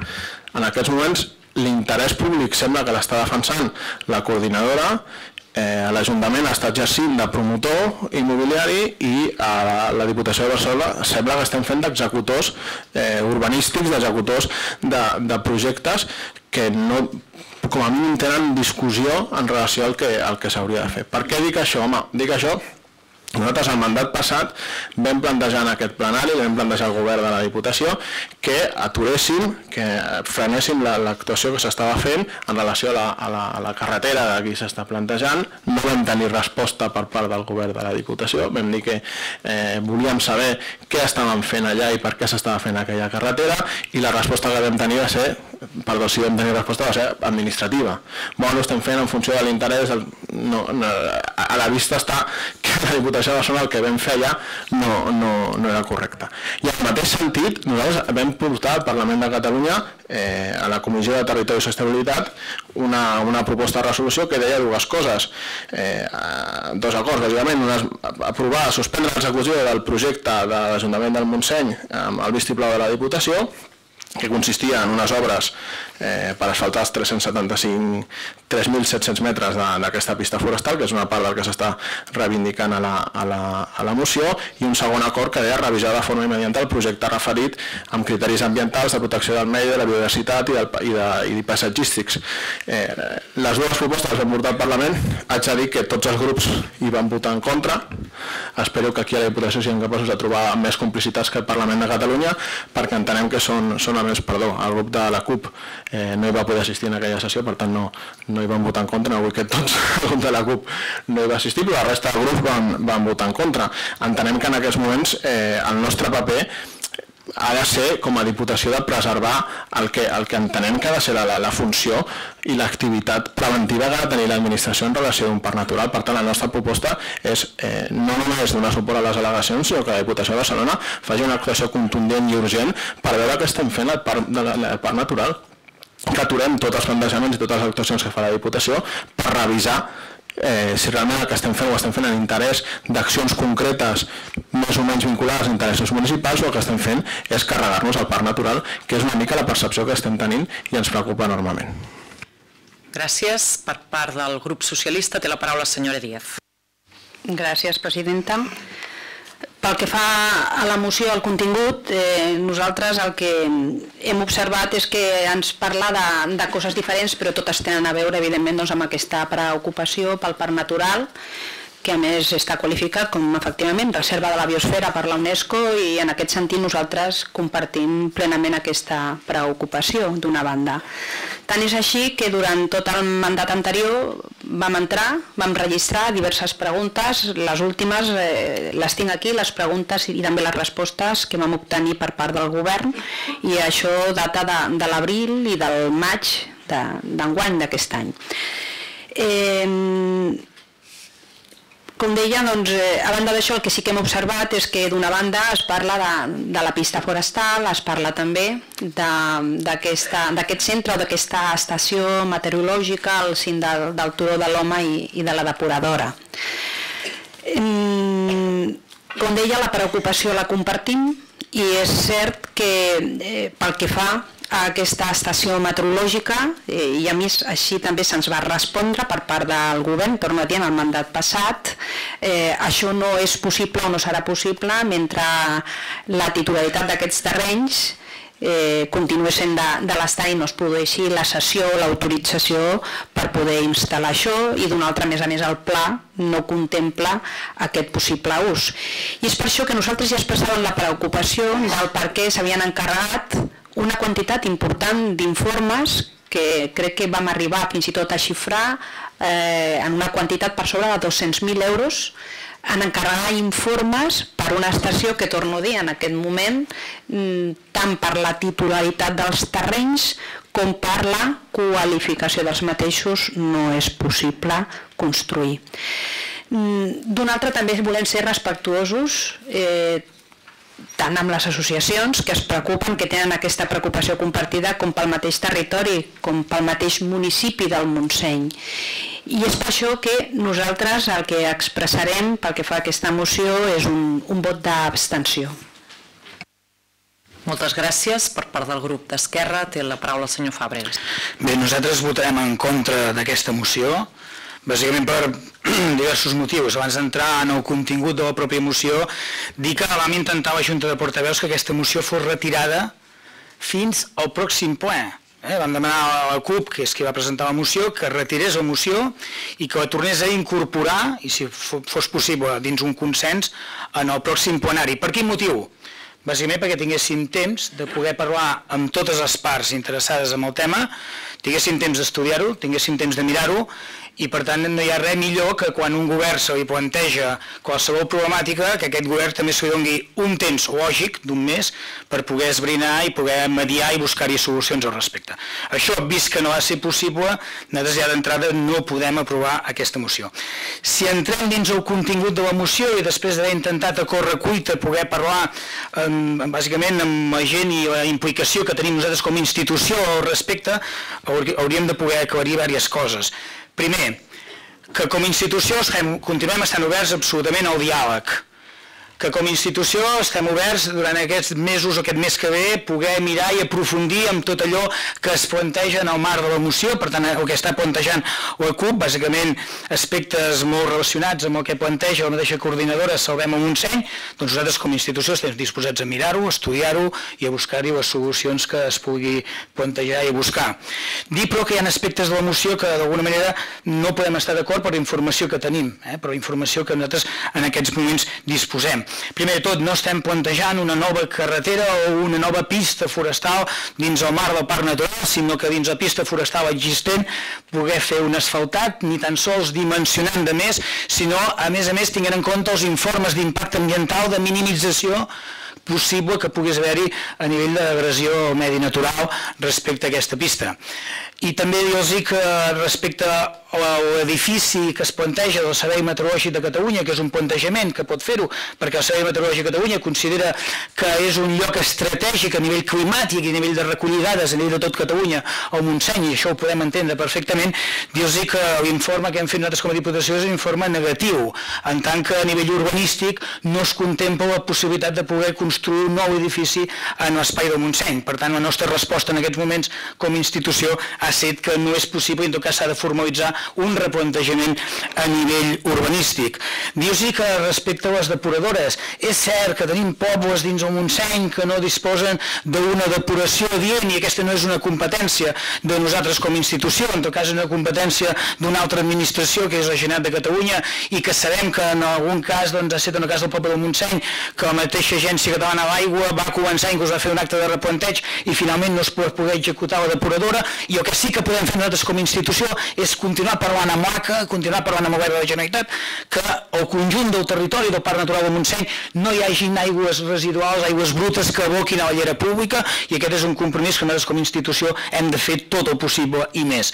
Respecte al plantejament que vostès fan de que no tirem endavant l'etap, l'única etap que nosaltres com a administració sí que hi participem i ajudem, que és eh, l'etap que es planteja poder realitzar en l'àmbit de dins del parc, dius que escolti'm, mm, aquí pel que sembla, estem disposats que aquells plantejaments tècnics, de fet nosaltres no som tècnics, eh, som polítics, i es planteja una etapa convencional i algun plantejament alternatiu de gent del territori i segurament amb bon criteri per part de la coordinadora Salvem a Montseny es planteja que aquesta etapa sigui una etapa biològica o tingui un plantejament diferent a nivell tècnic, dir-los que estem totalment disposats a estudiar les propostes que plantegi la coordinadora Salvem a Montseny. De fet, pel que tenim informació respecte al parc natural, s'ha pogut parlar amb la coordinadora i si no és així que ens ho transmetin, perquè estem disposats a poder-ne parlar, perquè si som capaços de trobar-hi una solució més eficient, menys agressiva al medi, no dubtin que aquesta institució serà la primera d'estar al costat de la ciutadania i del conjunt del territori del Montseny.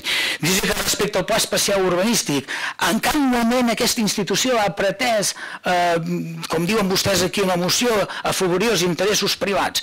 El que sí que hem de tindre clar tots plegats és que el 85% del territori, eh, del patrimoni del Montseny com a parc natural, és privat i només un 15% és públic. Per tant, tampoc podem obviar els privats o els particulars que hi han dins aquest parc natural. Seria un error per part d'aquesta administració fer-ho, no? I llavors, el que nosaltres diem, i de fet els fem pagar, és que les costes d'aquells que es vulguin connectar a l'etap, que vulguin les seves aigües brutes a la llera, les costes assumeixen els particulars, no hem d'assumir nosaltres com a administració. Per tant, amb això estarem totalment d'acord amb el plantejament que es pugui formalitzar al respecte. Finalment, dir-los també que un pla especial no pretenem aquesta institució que mitjançant un pla especial a nivell urbanístic, a nivell de protecció del parc, sigui perquè es pugui fer activitat privada que vagi en contra del que ha de ser un parc natural, que és una reserva de la biosfera i que hi ha una biodiversitat esplèndida i una proximitat amb l'àrea metropolitana que cal preservar aquest pulmó que representa el parc natural del Montseny. Aquesta institució està per salvaguardar, per tant, en cap moment està per al contrari, sinó per intentar salvaguardar. Finalment, dir-los que ens demanen que hi existeixi un organisme consultiu. De fet, ja existeix un organisme consultiu que la mateixa coordinadora, perquè sembla també hi participa, i els ajuntaments afectats, en tot cas dir-los que si hi ha qualsevol element estem disposats a poder-ne parlar i a poder incloure, perquè diuen vostès, escolti'm, segurament també caldria que més entitats representatives del territori hi fossin presents. De tot se'n deu poder parlar. En tot cas, el que aquesta Diputació ha de tindre clar, que nosaltres és la nostra prioritat, és donar suport al món local.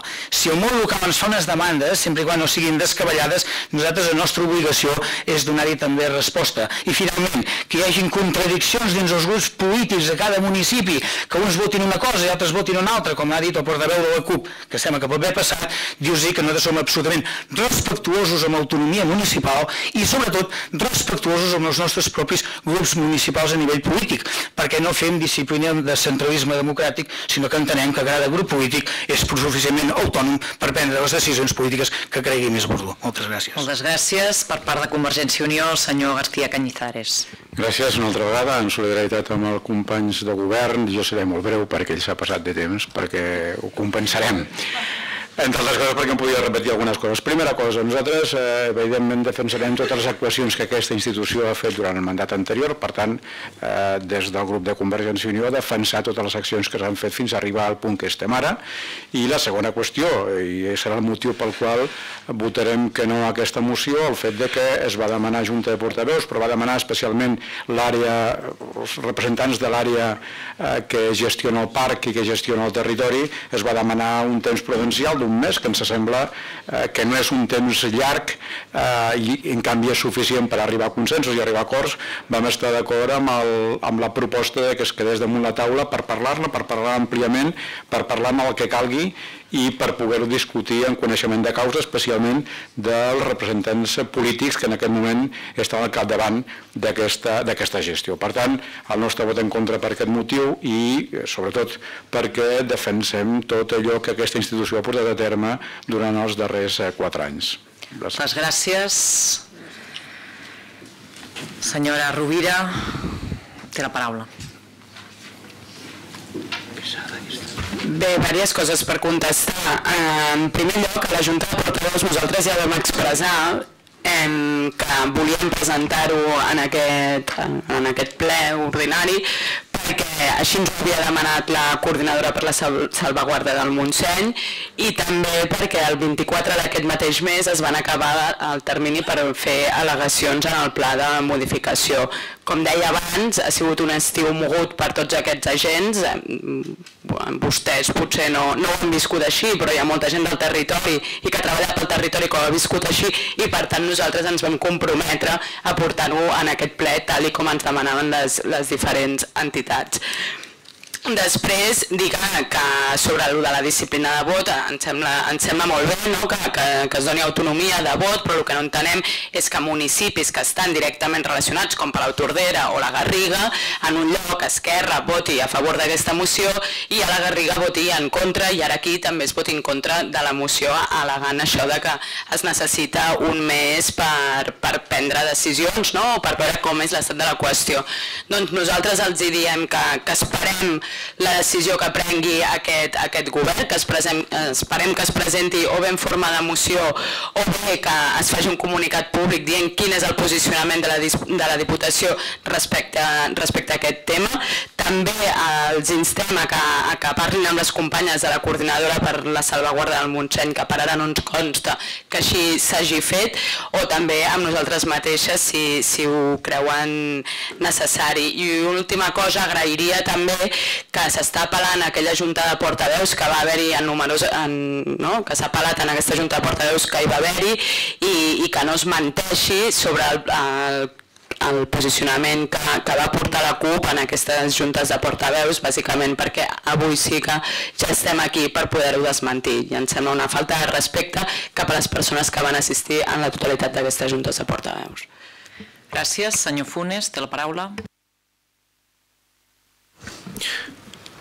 Bé, presidenta, només per insistir en una idea, amb independència de, de si és un municipi, si és un altre, si un grup en un municipi, crec que, que no és la funció d'aquesta Diputació fer el repàs de què fa cadascú a cada municipi i al final ja sembla lògiques locals que es poden entendre. El que sí que està aquesta casa és per veure la visió global i el paper que ha de tenir la Diputació. I la nostra preocupació, insistim, és en què la Diputació no estem tenint una visió global del que passa al parc. El mandat passat ja ho vam tenir eh, alguna discussió amb l'anterior diputat de, de territori.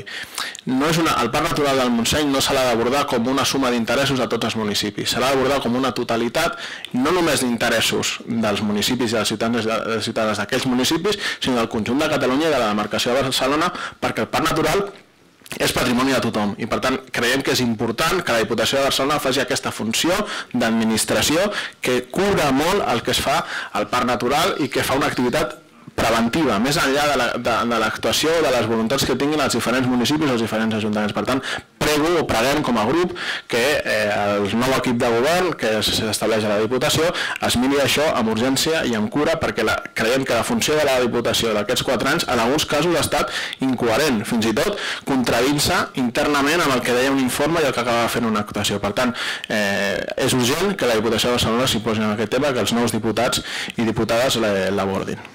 Gràcies. Senyor Fàbrega, té la paraula.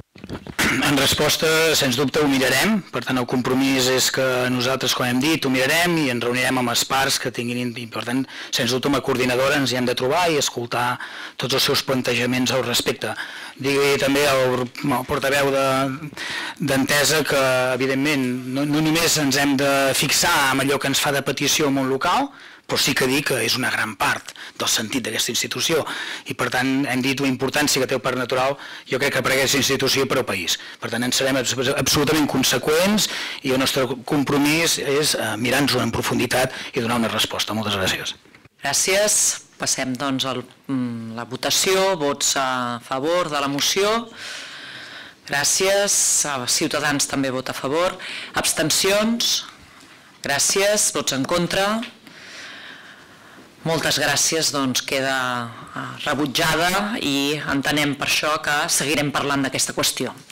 Aprofito en aquest moment, atès les dues mocions que venen a continuació, per saludar especialment el president de l'Associació de Municipis per la Independència, els membres de la seva executiva, i també eh, saludar doncs, l'expresident de la Diputació, el senyor Salvador Esteve, l'alcalde de Martorell, que també ens acompanyen per la moció eh, que afecta precisament una empresa del seu municipi. Per tant, molt benvinguts avui en aquesta sessió plenària i gràcies per fer el seguiment d'aquest ple.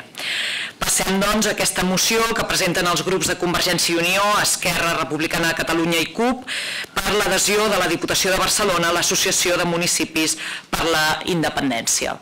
Eh, lectura dels acords. En permís. Els acords proposats són els següents. Primer, l'adhesió de la Diputació de Barcelona a l'Associació de Municipis per la Independència amb la finalitat de defensar i promoure l'assoliment dels drets nacionals dels i les catalanes, promoure l'exercici del dret a l'autodeterminació. Segon, aprovar els estatuts que regulen l'Associació de Municipis per la Independència. Tercer, manifestar el compromís de la Diputació de Barcelona de treballar a l'associació amb l'objectiu de contribuir a fer efectiva la transició cap a la independència tot assumint que els drets nacionals, els drets socials i la igualtat de gènere són indestriables per aconseguir una societat justa i lliure.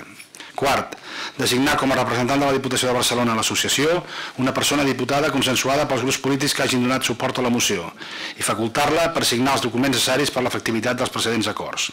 Cinquè, constituir una comissió de seguiment de l'activitat de l'associació, així com el grau d'assoliment dels acords presos, formada per representants de cadascun dels grups que hagin donat suport a la moció i per la persona designada com a representant de la Diputació a l'associació.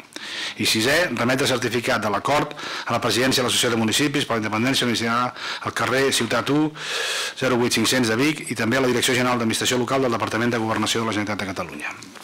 Gràcies. A posicionament doncs, dels diferents grups per part de la CUP té la paraula la senyora Sabater. Gràcies. Bé, nosaltres estem molt contentes de, de portar aquest punt conjuntament aquí al ple. Creiem que en aquests moments històrics que estem vivint les administracions han de fer passos valents per respondre a la reivindicació de la majoria de catalans i catalanes, malgrat els pes i aquí llegeix la realitat en el meu parer de forma distorsionada i eh, de començar un procés constituent a Catalunya. En aquest sentit, eh, sent un organisme eh, de representació del món local i que representa el sentir del món local, la Diputació creiem que evidentment s'ha de sumar a l'AMI i nosaltres per tant votarem a favor, esclar. Moltes gràcies. Per part del grup popular té la paraula el senyor Reyes. Sí, desde el Partido Popular sentimos tristeza que la primera moción política importante que se presente en el Pleno de la Diputación sea precisamente una moción como la que se presenta aquí para que la Diputación de Barcelona se suscriba a la Asociación de Municipios por la Independencia. Nos hubiese gustado que la primera moción política fuera una moción de apoyo a los ayuntamientos que en tiempos de dificultades económicas han luchado intensamente para salir adelante y que sus ciudadanos pudiesen mejorar en calidad de vida, o que fuera una moción para denunciar los recortes que la Generalitat de Cataluña ha hecho con el gobierno de Convergencia y de Esquerra Republicana. Sin embargo, nos presentan una moción que lo que pretenden es que la Diputación de Barcelona pase a ser un, eh, se adhiera a la Asociación de Municipios por la Independencia. No sabemos si es con la intención especialmente de sufragar esta asociación, de poner dinero al servicio de la independencia y poder seguir subvencionando a entidades, a escritores, a medios de comunicación para que sigan haciendo proselitismo sobre la independencia. Esta asociación está claro cuál es su finalidad, la destrucción de nuestro Estado, tal como lo concedemos, la destrucción de la Constitución española y el Estatut de Cataluña para poner en su lugar un nuevo Estado independiente. Y tenemos muy cerca los resultados electorales del pasado, del pasado domingo, unos resultados muy claros, muy claros si se leen como se tienen que leer y se suman los votos y de manera clara y evidente se ve que la mayoría de los catalanes han votado a fuerzas que están en contra de la independencia. Es cierto que ha ganado Junts pel Sí con 62 diputados y si le sumamos los 10 de la CUP tienen 72. El peor resultado de las fuerzas independentistas desde que la Generalitat de Cataluña eh, se, se volvió a poner en funcionamiento. Mire, la legislatura pasada esas tres fuerzas sumaban 74 diputados, han pasado a tener 72. No tienen fuerza suficiente ni siquiera para aprobar la ley electoral en Cataluña o para modificar el Estatut de Cataluña. No tienen 90 diputados, tienen 72. Y primero se tendrán que poner de acuerdo para ver quién será el futuro presidente de la Generalitat de Cataluña. Por lo tanto, el resultado es claro. La mayoría de los catalanes votaron en contra de la independencia y financiar entidades como la AMI puede significar que esta administración, que la Diputación de Barcelona, esté cometiendo un acto ilegal. Y desde el Partido Popular velaremos por el cumplimiento estricto de la legalidad. Y por ello estudiaremos, si fuera el caso, que hay algún pago económico a la AMI, acciones legales por si fuera una ilegalidad lo que estuviesen cometiendo. Nosotros pedimos a la Diputación de Barcelona y a las fuerzas que presentan esta moción que se centren en los problemas reales que tienen los catalanes, que luchen por esas personas que no tienen un puesto de trabajo, esas personas que no pueden pagar el alquiler, que no pueden pagar la hipoteca, por mejorar servicios como, como bienestar social, como la educación, como la sanidad. Porque la de Cataluña tiene un presupuesto de 36.000 millones de euros, 36.000 millones de euros. Y sin embargo ustedes siguen cerrando quirófanos en hospitales y siguen cerrando escuelas e institutos. Por tanto, el Partido Popular no puede estar al lado de aquellos que quieren luchar contra la legalidad. Nosotros creemos que lo mejor que podemos hacer es seguir juntos, porque unidos ganamos y porque una Cataluña fuerte en una España unida será lo mejor para las próximas generaciones de este país. Muchas gracias. Gràcies. Per part de Ciutadans té la paraula la senyora Sierra. Gracias. Eh, efectivamente, el pueblo catalán ha hablado y en la provincia de Barcelona los datos son bastante elocuentes. Solo el 44% de la provincia ha votado en contra de que Cataluña eh, siga formando parte de España y de la Unión Europea. En votos es 1.349.711 frente a los 1.636.441. Aquí se ha hablado reiteradamente de que yo he escuchado muy atentamente a todo el mundo me gustaría lo mismo. Si us plau. Segueixi, senyora Sierra. No, 1.300.000. S'ha entès, Ah, s'ha entès que volia dir el Sí, milió. Sí, sí, sí, ho hem entès. Gràcies, segueixi. Eh, entonces, eh, se ha dicho reiteradamente que aquí no se han sabido leer los números, no solo no lo hemos sabido leer nosotros, tampoco lo ha sabido leer la prensa internacional, porque si damos un repaso a la prensa internacional, vemos que en general coincide bastante con nuestro planteamiento.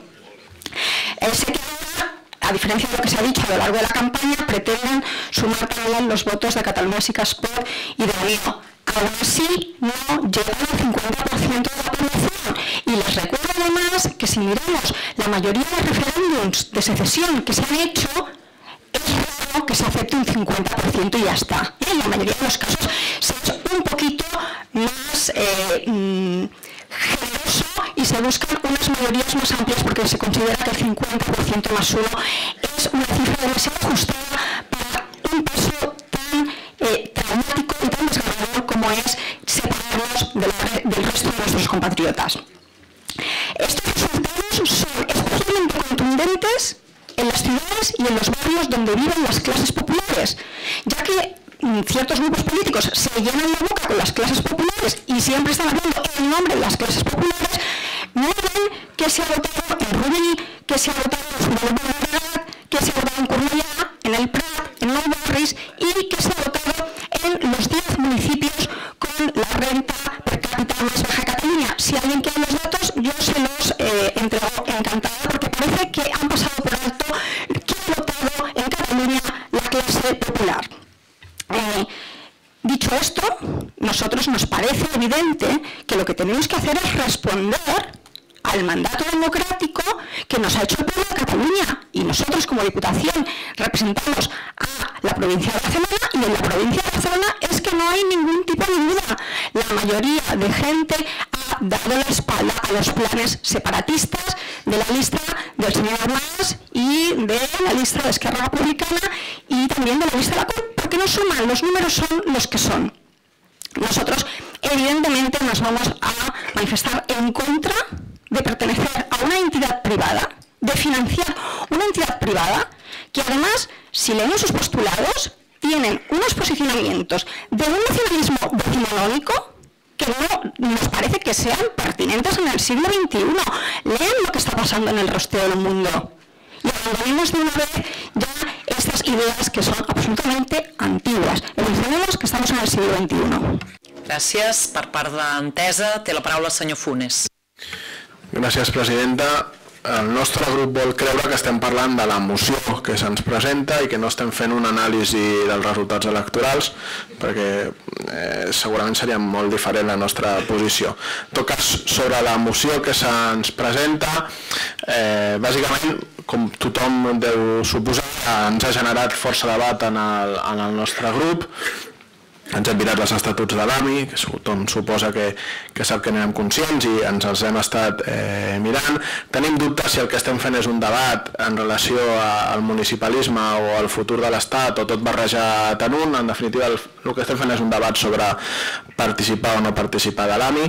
Nosaltres creiem que, que l'AMI eh, hauria de fer un esforç per esdevenir una, en tot cas una associació molt més municipalista del que ho és, sent una associació de municipis no és prou eh, municipalista, però tampoc volem eh, barrejar una cosa amb l'altra. La nostra posició com a grup és defensar un estat propi, apostar per un referèndum vinculant i entenem que aquests dos objectius es poden aconseguir de, de maneres diverses. No entenem que sigui especialment obligatori pertany a l'AMI, però eh, com que el grup és plural i dins de la pluralitat del grup hi ha posicions diverses i cadascú dels nostres ajuntaments doncs, hem votat coses diferents, entenem que el més coherent eh, com a grup i entenem que estem a la Diputació de Barcelona, a la xarxa de municipis, a l'espai que representem a tots els municipis, és abstenir-nos en relació a aquesta moció.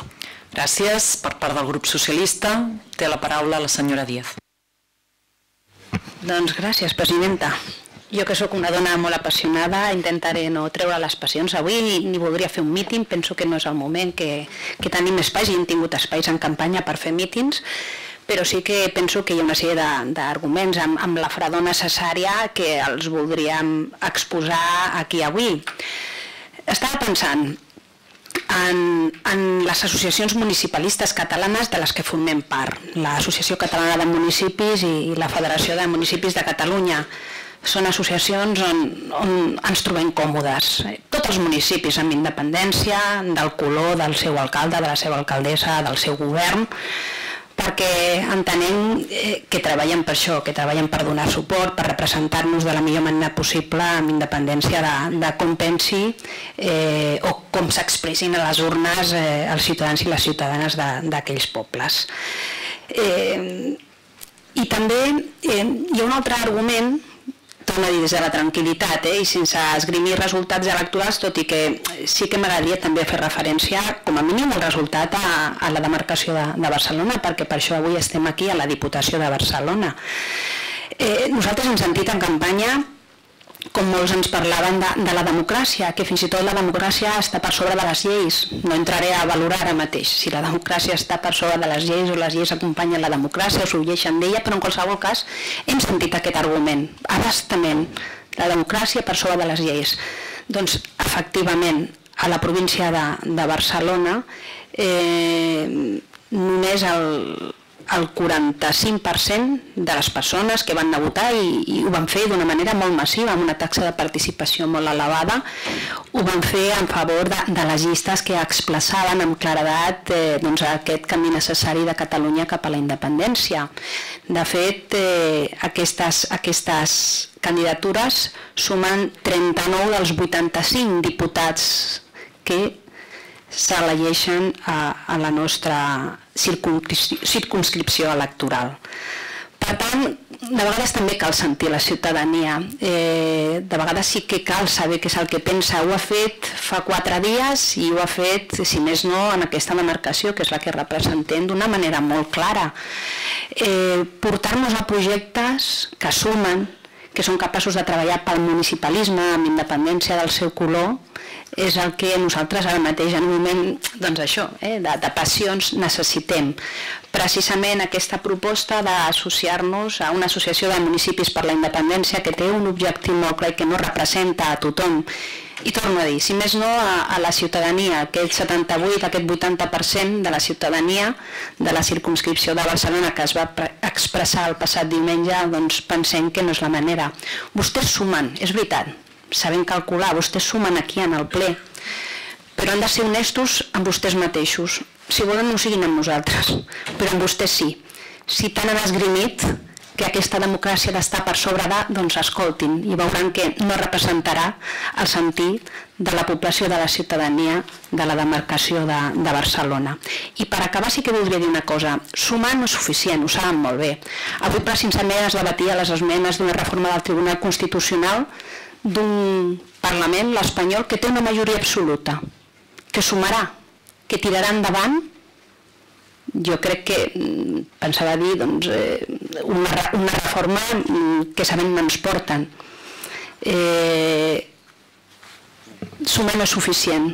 De vegades cal adonar-se que en democràcia de vegades sumes, de vegades no ho fas, però hi ha temes que calen majories molt qualificades efectivament per fer una llei electoral, per modificar una Constitució, per modificar un estatut, per una llei d'educació, també per una llei d'educació, i com no, per també associar-nos a l'AMI. Per tant, el nostre vot serà contrari. Moltes gràcies. Per part d'Esquerra Republicana té la paraula el senyor Fàbrega. Bé, en tot cas el nostre ple suport a la moció no només el pressupost, sinó a més a més, com deia la representant de la CUP, jo diria que plenament satisfets i contents de que avui puguem presentar aquesta moció i que per anar bé tingui el suport de la majoria dels diputats avui aquí presents. Dius que l'AMI ha estat una eina fonamental pel municipalisme català per almenys els últims anys cap a un procés d'independència nacional. Sense que el món local, com a primera trinxera que està al carrer i que està pròxim a la ciutadania. Hagués participat, hagués animat, hagués dinamitzat, segurament el nostre país no estaria en la situació d'avenç nacional que té en aquests moments. Per tant, a part del suport, jo volia dir algunes coses que s'han dit avui aquí. És que a mi, perdoni avui senyor Reyes, sembla que ho tingui ficat amb vostè, no és cap obsessió personal, sinó que en tot cas sí que diu diverses coses. Primer, que com es pot qüestionar que democràticament els catalans i catalanes diumenge van decidir el que van decidir. Jo no sé si és que vostès els números respecte als nostres són diferents o entenem la suma de l'aritmètica d'una forma diferenciada i també els dic als senyors de Ciutadans però és que esclar, el 39% que representen les opcions que esteu a favor de l'unitat d'Espanya és diferent, no suma el 48% de la gent que estem a favor de la independència de Catalunya.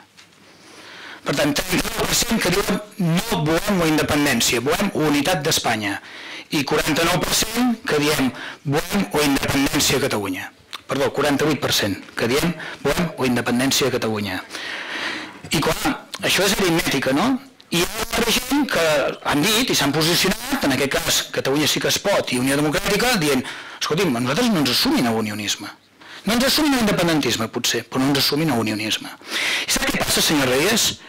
Que si vostè és l'estat espanyol, el partit polític que governa l'estat espanyol, que té una majoria absoluta aplastant, per cert, amb el 44% dels vots, diguem-ho tot, ens haguessin deixat votar en un referèndum d'autodeterminació, que sou el més normal, lògic i democràtic en el món mundial d'Europa Occidental no? i del model democràtic, avui sabríem si la majoria de ciutadans de Catalunya volen o no volen independència. Però és que vostès no només ens ho han negat, sinó que mirin, inclús ens trobem a gent imputada judicialment per defensar aquestes idees, per defensar la democràcia. I per tant, no ens han deixat altra sortida que convertir les eleccions d'aquest passat diumenge en unes eleccions publicitàries i que el poble de Catalunya decidís.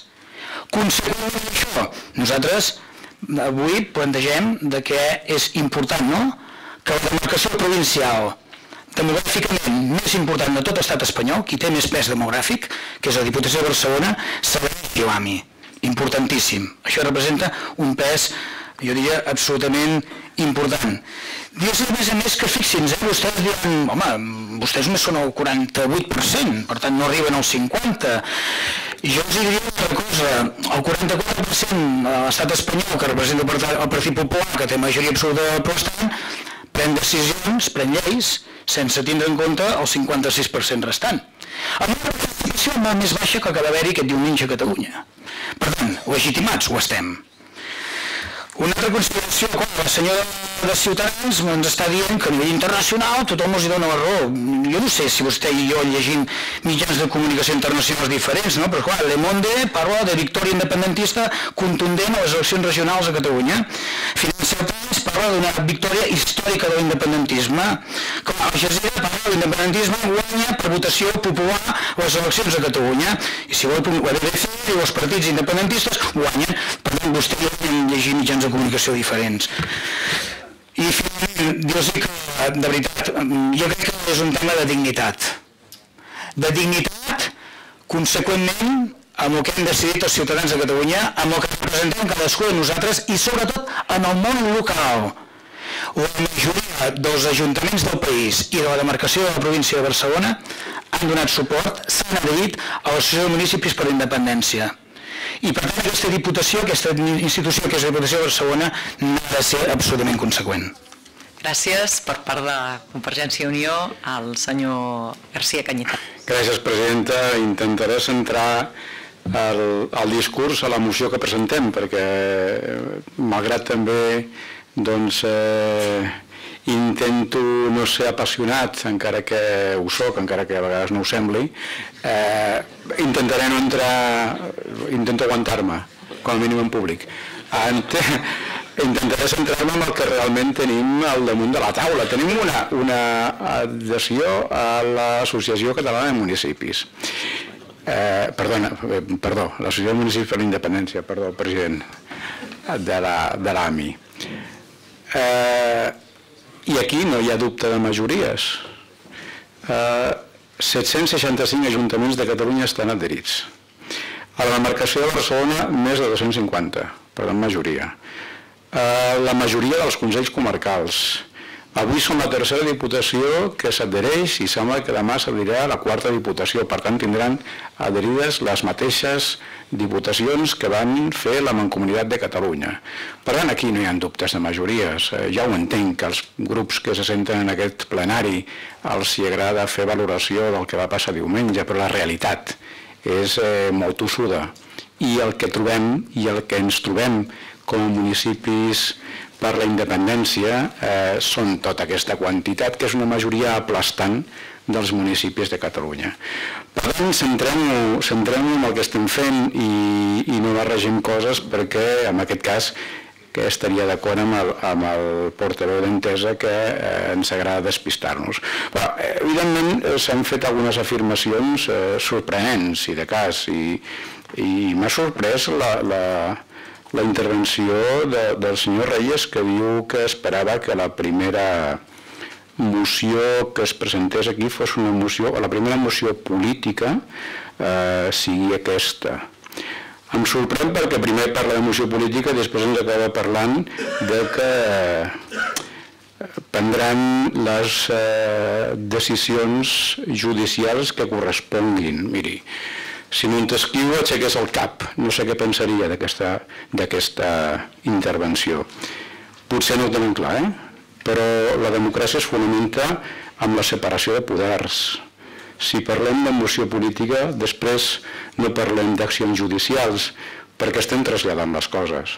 Per tant, eh, insisteixo amb la necessitat de prendre acords polítics en aquest espai i en aquest espai el que hem decidit i decidim per majoria i els eh, nombre de diputats i diputades en Sumarca és que ens adherim a una associació que defensa els interessos de la majoria dels municipis del país, de la majoria de les administracions del país i de la majoria de les administracions municipals de la demarcació de Barcelona. Per tant, és lògic que avui votem i portem aquesta moció i, a més, el primer plenari d'aquest mandat, perquè ara és el moment de fer-ho i ara és el moment que les majories municipals ens permeten fer-ho. Per tant, és la normalitat amb una administració normal, amb uns grups polítics normals que el que volen és defensar la majoria del que diuen els municipis que l'acompanyen. I fixeu-vos, per acabar i per eh, fer doncs, eh, palès que hi ha alguns eh, partits polítics que es presentaven diumenge que eh, no estaven d'acord ni amb la independència ni amb la no independència. En aquest grup, que està conformat per Convergència i Unió, eh, per demostrar que Unió Democràtica no està demanant el vot en contra de la independència, el grup de Convergència i Unió tindrà dues abstencions del grup d'Unió Democràtica, de les dues diputades d'Unió Democràtica dintre del grup. Gràcies, presidenta. Moltes gràcies. No sé si hi ha més debat. Senyora Sabater breument. No, jo no faré més debat, només volia mm, dir que fins i tot nosaltres, amb l'Unovatus que som, eh, sabem que tots els grups d'aquí presents poden presentar mocions al ple, per tant, si també els preocupa les mocions presentades, presentin-ne. Gràcies. Senyora Sierra, breument. Sí, per al·lusions. Efectivament, no llegim la mateixa premsa internacional. L'aventura catalana no acaba de llegir per a. Frankfurter Rundschau. En Silencio. hacen el cuento de Berchera, Frankfurter Alemán. Este resultado tranquiliza a los inversores internacionales de Wall Street Journal. Más no tendría que estar tan contento Bloomberg News. Cataluña tiene que dejarse del precipicio Financial Times. Editorial, por cierto. Madrid y Barcelona se dejan llevar por la pasión León Editorial. El independentismo en Europa es un mojo de cuna, Francia. En Cataluña se juega el futuro de Europa. Bueno, este es bastante neutro. Se ha una situación... Producido una situación del rey abogado en The Telegraph Holanda. Madrid es el chivo expiatorio de Cataluña en Polonia. Independencia tendrían otros problemas, un periódico México, Yes. y así. ¿eh? Quiero decir que la prensa internacional, mm, yo creo que en general ha hecho una lectura bastante diferente. Y finalmente, para acabar, eh, yo creo que la Diputación tiene que representar a todos los municipios y mi pregunta es si ahora se adhieren al AMI, si solo van a defender a esos municipios que son eh, independentistas. Finalmente, recordarle al señor portavoz de Esquerra Republicana que ha ido repitiendo el 48%, en primer lugar no llegan al 48%, y en segundo lugar estamos hablando de provincia de Barcelona, provincia de Barcelona 44%. Gràcies. Gràcies. Tanque. Senyor Reyes, eh, s'ha explicat, jo crec que abastament avui vostè, eh? eh? crec que el debat està exaurit, tots hem pogut posar, i, i per al·lusions en tot cas, molt breument, Sí, por alusiones múltiples, porque se han referido a mí diferentes portavoces. ¿no? Eh, simplemente comentarle que, que Esquerra Republicana, ustedes eh, primero de mayoría de votos y ahora nos hablan de mayoría de diputados. Pues si hablamos de mayoría de diputados... Senyor Reyes, jo entenc que per al·lusions vostè pugui mm, parlar i té tot el dret, eh? però també senyim-nos el que és el contingut de la moció, perquè ens agrada molt debatre els resultats de les eleccions passades i segur que no acabarem mai, però aquí venim a fer una feina concreta que és aprovar una moció. Eh? Parli, parli, digui. Gràcies. Eh, gracias, señora presidenta. Usted la mayoría de diputados. El 8 de abril del año pasado, la mayoría de diputados catalanes en el Congreso de los Diputados dijeron no al referéndum. La mayoría de diputados catalanes. Eso también es representación de la soberanía y del pueblo de Cataluña. Y, eh, señor de Convergencia y Unión, eh, hablamos aquí de dignidad. Hablamos de dignidad. Es digno que la Asociación de Municipios de Cataluña de de Municipios por Independencia digan sus estatutos o que trate a los españoles como colonos, ningún andaluz, ningún gallego, ningún extremeño, ninguna persona que ha venido del resto de España a Cataluña a buscarse un mejor porvenir, a levantar esta tierra, es en su país. hi ha bueno, totes les posicions jo crec que estan eh, i per tant eh, la posició de vot em sembla que queda clara, vots a favor dels grups que donen suport a la moció, els tres portaveus amb dues abstencions per part del grup de Convergència i Unió, els vots de la CUP, eh, les abstencions per part d'Entesa i vot en contra per part doncs, de PP, Ciutadans i PSC. Doncs queda doncs, aprovada i per tant s'integra aquesta Diputació i s'adhereix a l'Associació de Municipis per la Independència, per tant, doncs, gràcies a tots i totes, els que ho han fet possible, i seguirem doncs, treballant també des d'aquí pel procés nacional de Catalunya i per l'assoliment d'un estat propi independent. Gràcies als representants de l'Associació de Municipis per la Independència. Gràcies per assistir. Passem a la següent moció.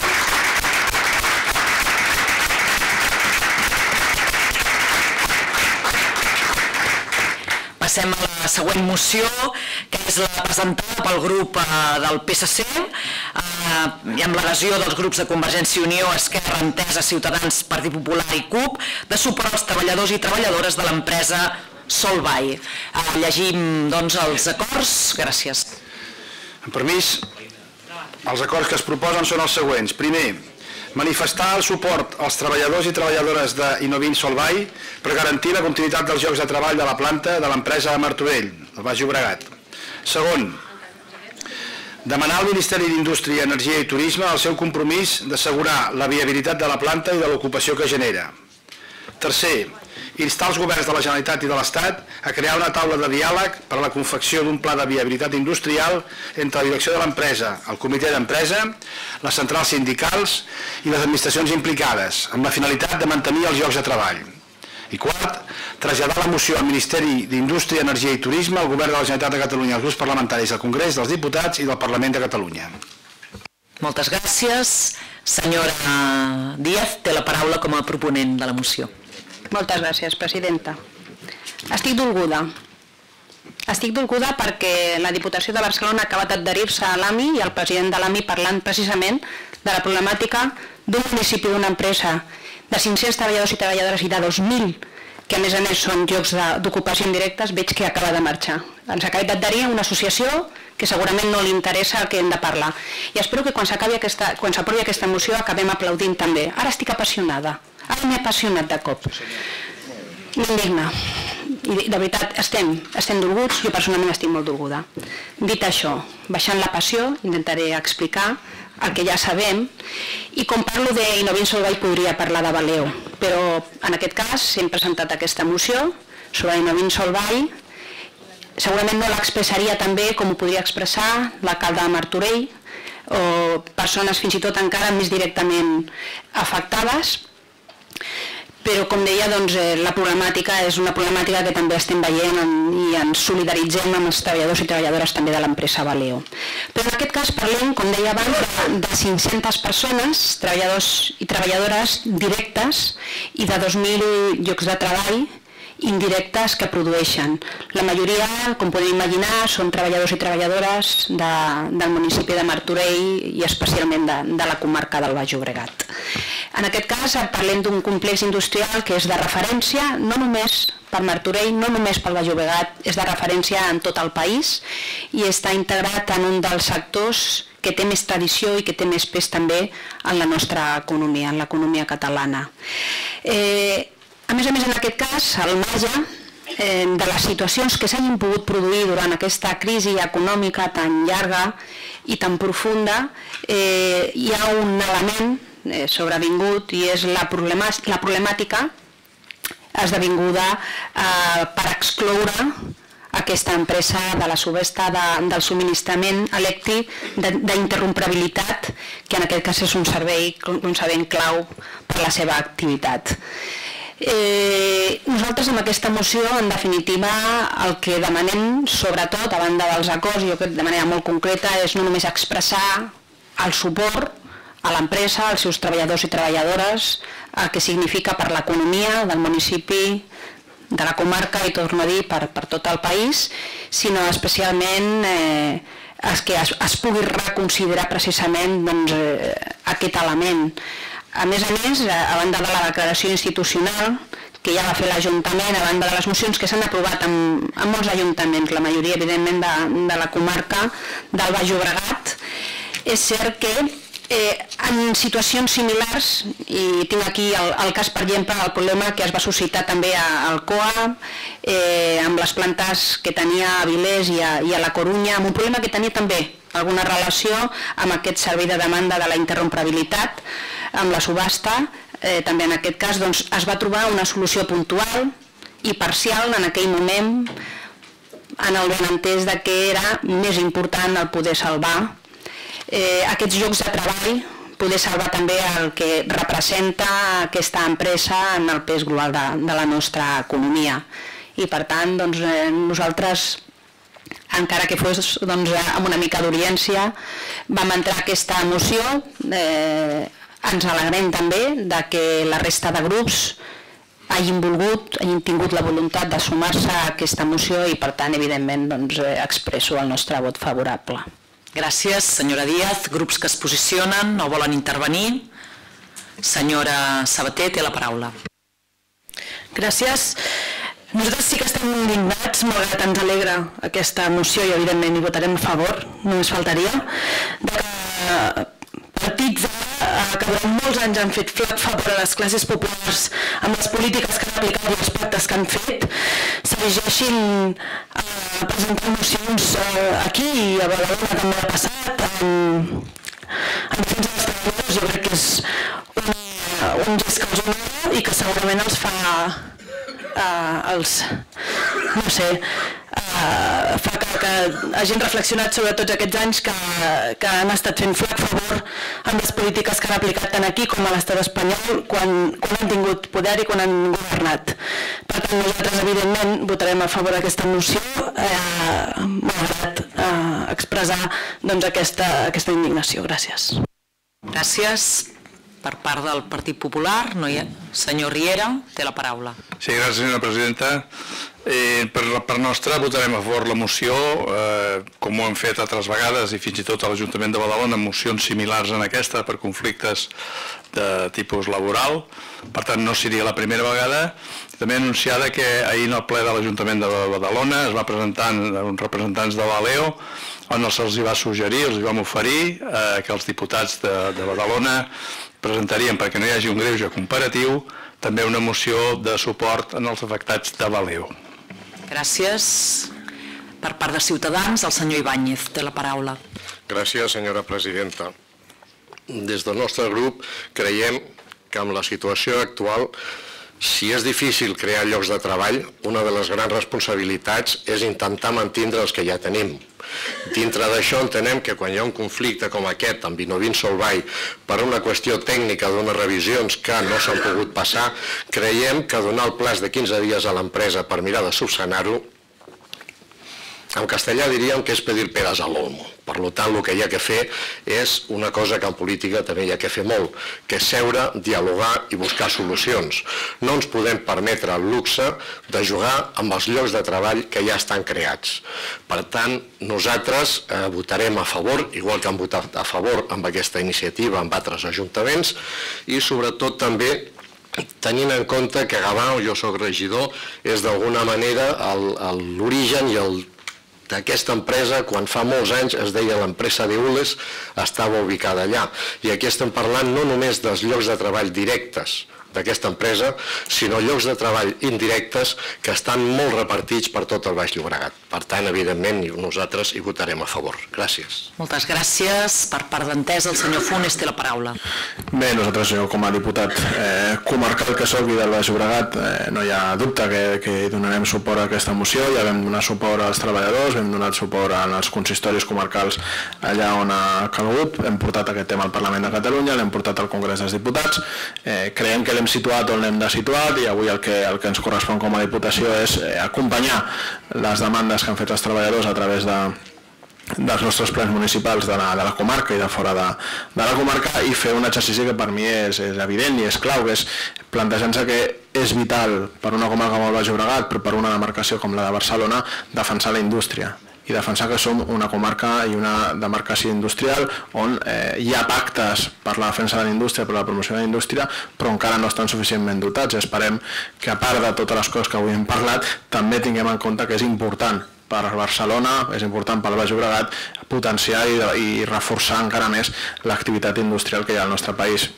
com a indústria i perquè cal fer activitat eh, productiva i per tant hem de poder eh, generar activitat econòmica però també per un element important per nosaltres que és que els llocs de treball per nosaltres són bé de defensa pública, són bé comú, són aquells llocs de treball que estan generant, són béns socials, els hem de defensar aferrissadament i creiem que aquesta Diputació, aquest mandat ens tocarà defensar-ho com més eh, millor. I per tant eh, donem suport a aquesta moció i evidentment ja anunciem que tots aquells eh, projectes o les actuacions que vagin en contra de, dels llocs de treball tindran rèplica en aquesta corporació com sempre l'han tingut i en, els, i en les plens municipals que correspongui.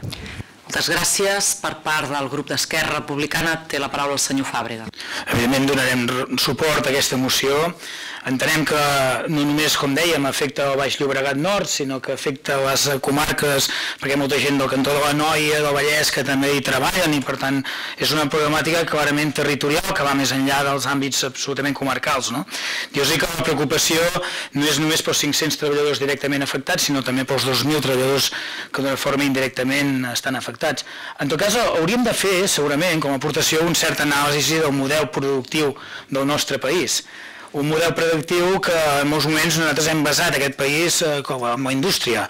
I sens dubte la indústria passa moments de dificultat en, el, en, en aquest context de crisi econòmica i que encara que alguns digui que hi ha certs brots verds doncs veiem que aquests brots verds no acaben d'esclatar del tot sinó que al contrari part del model productiu industrial del país continua patint i continua anant coix. El que sí que estaria bé és com a Diputació és que féssim una certa anàlisi del conjunt de, de l'economia productiva a nivell industrial de la província sobretot perquè no hi ha res millor que abans que vingui a succeeixi la problemàtica poder fer prevenció a la problemàtica de dificultats econòmiques a nivell industrial. No? I dir-los també, per, com, com a última reflexió, que és obvi que el Ministeri també té la seva responsabilitat clara, és a dir, no es poden fer les coses com s'ha actuat respecte a Solvay, a corre cuita, de mala manera i sense oferir una solució. Quan veiem que el ministre en campanya electoral ve ha voltat per aquí al territori i fent fent, eh, com sempre, algunes promeses d'aquelles descabellades que nosaltres el que entenem és que el que s'ha d'anar és el kit de la qüestió, és en el fons del problema i per tant cauria trobar i cal trobar una solució a solvar d'una forma molt més efectiva i adient i ràpida. Gràcies per part de Convergència i Unió, el senyor García Canyitat. Gràcies, presidenta. És una intervenció molt breu perquè s'ha dit eh, segurament tot. En tot cas, el grup de Convergència i Unió que fem allò apassionadament és adherir-nos a la moció, adherir-nos al que l'Ajuntament de Martorell, eh, al manifest de l'Ajuntament de Martorell i adherir-nos, evidentment, a la defensa dels llocs de treball de tots els treballadors i treballadores de Solvall, però també de totes les empreses que treballen eh, a partir de l'activitat de Solvall i defensar, evidentment, la, el dret al treball que es podia perdre eh, si no es fan actuacions contundents en el camp de mantenir aquesta empresa i moltes altres en funcionament que a més a més són viables i que cal defensar-les. Per tant, el nostre suport i evidentment la moció ens hem adherit, eh, per tant la votarem a favor. Moltes gràcies, doncs entenc pel posicionament que doncs, eh, queda aprovada aquesta moció per unanimitat de la corporació. Moltes gràcies a tots els grups i agrair també la presència de l'alcalde de Martorell, del president Esteve. Gràcies eh, per poder-nos acompanyar avui en aquesta sessió. Passem al següent punt de l'ordre del dia, que és, la, és donar compte de les resolucions dictades eh, per la presidència de la corporació, pels presidents delegats de les diferents àrees i els acords adoptats a la Junta de Govern. Alguna qüestió? El senyor eh, Duran té la paraula. Gràcies, senyora presidenta. Farem consideracions sobre diferents decrets. El primer és el 7450, de 15 de juliol de 2015, que diu modificació de les signatures dels comptes operatius, financers i restringits de la Diputació de Barcelona. El primer que observem és que hi ha comptes amb diferents entitats bancàries, Catalunya Banc, La Caixa, Bankia, BBVA, Popular, Sabadell, Santander i Banc Inter, però trobem a faltar i emplacem a la corporació a que comenci a considerar no, trobem a faltar uh, un compte a la banca ètica. Properament presentarem moció en aquest sentit perquè la Diputació comenci a col·laborar amb la banca ètica. I en la línia d'aquesta ètica nosaltres estem en contra d'aquelles entitats bancàries i financeres que desnonen i fan fora a les famílies de la nostra demarcació i creiem que, bueno, eh, tot i l'aprovació que hi va haver al Parlament de la llei 24 barra 2015 per garantir que tothom pugui tenir un sostre, hi ha entitats bancàries amb les quals treballa la Diputació de Barcelona que incompleixen aquesta llei de forma flagrant i no ofereixen, fan fora a la gent de casa seva sense oferir-los una possibilitat de lloguer social. Nosaltres eh, instem i instarem al govern de la corporació a que reconsideri eh, la relació amb aquestes entitats. La següent consideració mm, fa referència al decret 74-70 74-70 de Secretaria General de 29 de juliol del, del present de nomenament de la vicepresidència cinquena a favor de la il·lustríssima senyora Núria Parloni Gil amb efectes del dia 1 de setembre de 2015 diverses qüestions. Exigim saber quines són les atribucions de govern de la vicepresidència cinquena i de la senyora Núria Parlon, perquè a hores d'ara va ser nomenada el dia 29 de juliol, que recordem que hi va haver una sessió plenària, en la qual la, presidència d'aquesta casa no va dir absolutament res. És a dir, no sé si ho havia signat abans del ple o després del ple, uh, però aquí, en aquesta sala que és on tocava, vostè no va dir absolutament res. Sí que ho va fer posteriorment en acabar el ple en una sala de premsa. Considerem que no són les formes de procedir de la presidència d'aquesta casa, però en tot cas reiterem que volem exigim saber quines són les funcions de govern que desenvoluparà la vicepresidència cinquena d'aquesta casa. Esclar, hi ha una altra, eh, una altra qüestió que vostès bé, pues, mm, sembla una broma però no ho és, perquè quan un llegeix el contingut d'aquest decret diu que vostè nomena a la senyora Núria Parlon atesa, i cito literalment, atesa la proposta de la presidència del PSC. És a dir, és com si ara la presidenta de CUP Poble Actiu va a vostè i li diu, escolta, jo vull la, la vicepresidència sisena. I el president del Partit Popular li diu, escolta, jo vull la vicepresidència vuitena, 6.367 euros. I va el, el president o la presidenta, en aquest cas d'Entesa, i diu, jo vull la novena. No sé si me'n queda algun, els ciutadans, perdoneu. La desena. Eh? Bé, una consideració a fer seria sobre la resolució 74 a 81.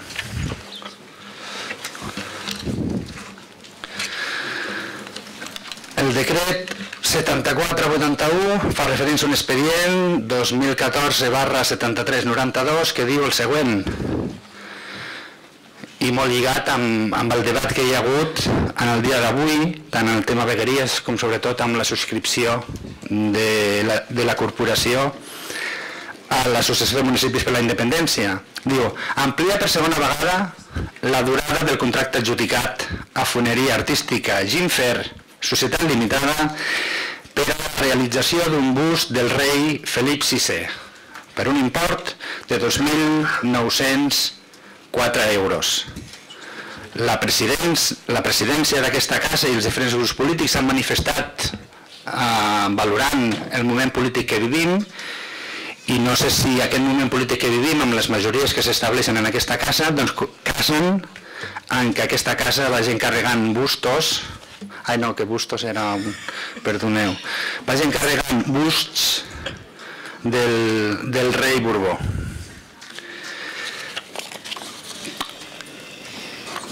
La següent, la següent consideració sobre la 74-97 74-97 que podríem lligar amb les lluites de Valeo, que podríem lligar amb les lluites que acabem de, de parlar en la moció anterior, que diu el següent, adjudicació, procediment obert, únic criteri preu, manteniment i suport de la xarxa de comunicacions de la Diputació de Barcelona, amb dos imports diferents que sumen a aproximadament una xifra de 280.000 euros. I és clar, això se subscriu amb Telefònica. Clar, amb Telefònica, ahir mateix, al, al meu ajuntament, doncs, eh, corroboràvem i aprovàvem una moció en suport als vaguistes de Movistar, i bé, mm, pel que hem conegut en aquesta casa esté molt present i celebrem les qüestions mediambientals, però l'altre dia també compartíem amb alguna, amb alguna diputada d'aquesta casa que comença a ser hora que la Diputació de Barcelona inclogui, inclogui els criteris socials i laborals en la contractació dels diferents eh, serveis. Una altra consideració envers les el decret 7505 de 30 de juliol de mesures relatives a l'adaptació a la nova estructura corporativa dels serveis i competències de la Diputació de Barcelona aprovada pel ple a la sessió del 29 de juliol de 2015 i ja em perdonarà que m'adreci a vostè eh, directament, però nosaltres en el ple de 29 de juliol li vam demanar explícitament que fes una explicació política eh, simple, breu, del per què aquesta casa passava de tenir cinc àrees a tenir quatre àrees, disculpeu, a tenir-ne cinc. El silenci va ser la resposta i li demanem que en aquesta ocasió ens contesti. Una altra seria sobre la 7509. Uf. La 7509 de 30 del 7 de 2015 de nomenament del personal eventual de la Diputació de Barcelona. Ja sabem que en aquesta casa doncs Convergència i Unió té 11 assessors polítics, bueno, hi ha també assessors tècnics que se'n diuen tècnics però que nosaltres també entendríem que són polítics, el grup del PSC en té nou assessors polítics, el grup d'Esquerra Republicana de Catalunya en té sis assessors polítics, el grup del Partit Popular en té cinc assessors de polítics i el grup d'Entesa en té cinc assessors polítics.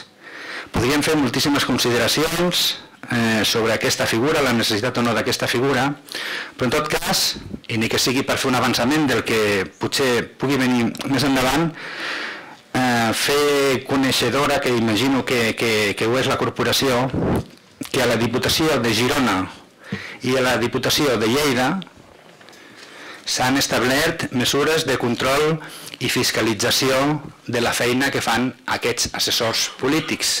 És a dir, volem mesures de control i de fiscalització de la feina que fan els assessors polítics i presentarem en el seu moment doncs, la moció oportuna. Per cert, a Girona la moció es va aprovar sense cap mena de, de problema i a Lleida també.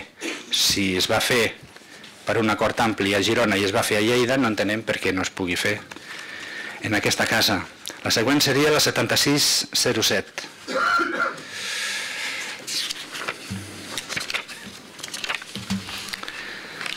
Sí, 7607 d'1 de setembre de 2015 que diu aprovar i adjudicar el contracte menor de subministrament d'una taula una taula i 10 cadires associades per a la vicepresidència de la Diputació de Barcelona. El grup CUP Poble Actiu considera, bueno, posin l'adjectiu, l'epítet que vulguin, absolutament inacceptable que la Diputació de Barcelona en els temps que corren, eh, que se suposa que ha de donar servei als municipis, als ciutadans dels municipis de la província amb aquesta crisi tan gran, es gasti la mòdica xifra en una taula i 10 cadires de 9.566 euros amb 0,2 cèntims. Ens agradaria que, que reconsiderés de la mateixa manera, perquè no diguin que, no es, que es comprem cap a casa, tindríem la 7631 i la 7632. La 7631 de 4 de setembre de 2015 diu aprovar i adjudicar el contracte menor de subministrament de 20 cadires operatives model X per als llocs de treball dels dos nous grups polítics de la Diputació de Barcelona, que entenem que són eh, ciutadans i nosaltres. Clar, per un import de 10.623 euros, si un fa una simple eh, regla de 3, resulta que cadascuna d'aquestes cadires, cadascuna d'aquestes cadires costa 500, 531 amb 19 cèntims d'euro. 531 euros per una cadira. No ho sé. No ho sé. És a dir, és per seure, simplement. La, la, la, la 76-32 la 76 a 32 diu aprovar i adjudicar el contracte menor de subministrament de mobiliari divers pels dos nous grups polítics de la Diputació de Barcelona, que són els mateixos, per un import de 20.871. No sabem si és necessari que per donar servei a tres persones s'hagin de gastar en un despatx de mobiliari 10.435 euros. Jo imagino que amb aquesta quantitat hi hauria famílies que podríem fer o amoblar moltes coses, no només un despatx.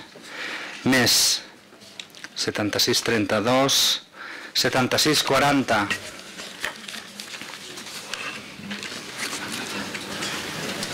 Sí, ja ho vam manifestar, eh, ja ho vam manifestar en el seu moment. A la Comissió de Cultura, Educació i Esports és el conveni entre la Diputació de Barcelona i la Real Federació Espanyola de Golf per donar suport a la candidatura Costa Brava 2022 doncs per a la celebració de la Ryder Cup. Nosaltres entenem que destinar 250.000 euros per donar suport a una candidatura per a la Ryder Cup, doncs creiem que hi ha altres Prioritats. I anem acabant 78-71.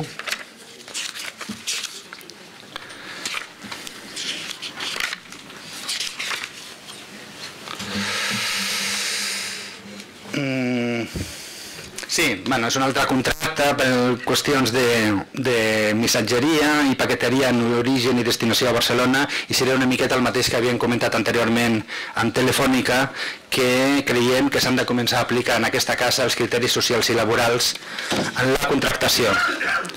I la última seria la 79 48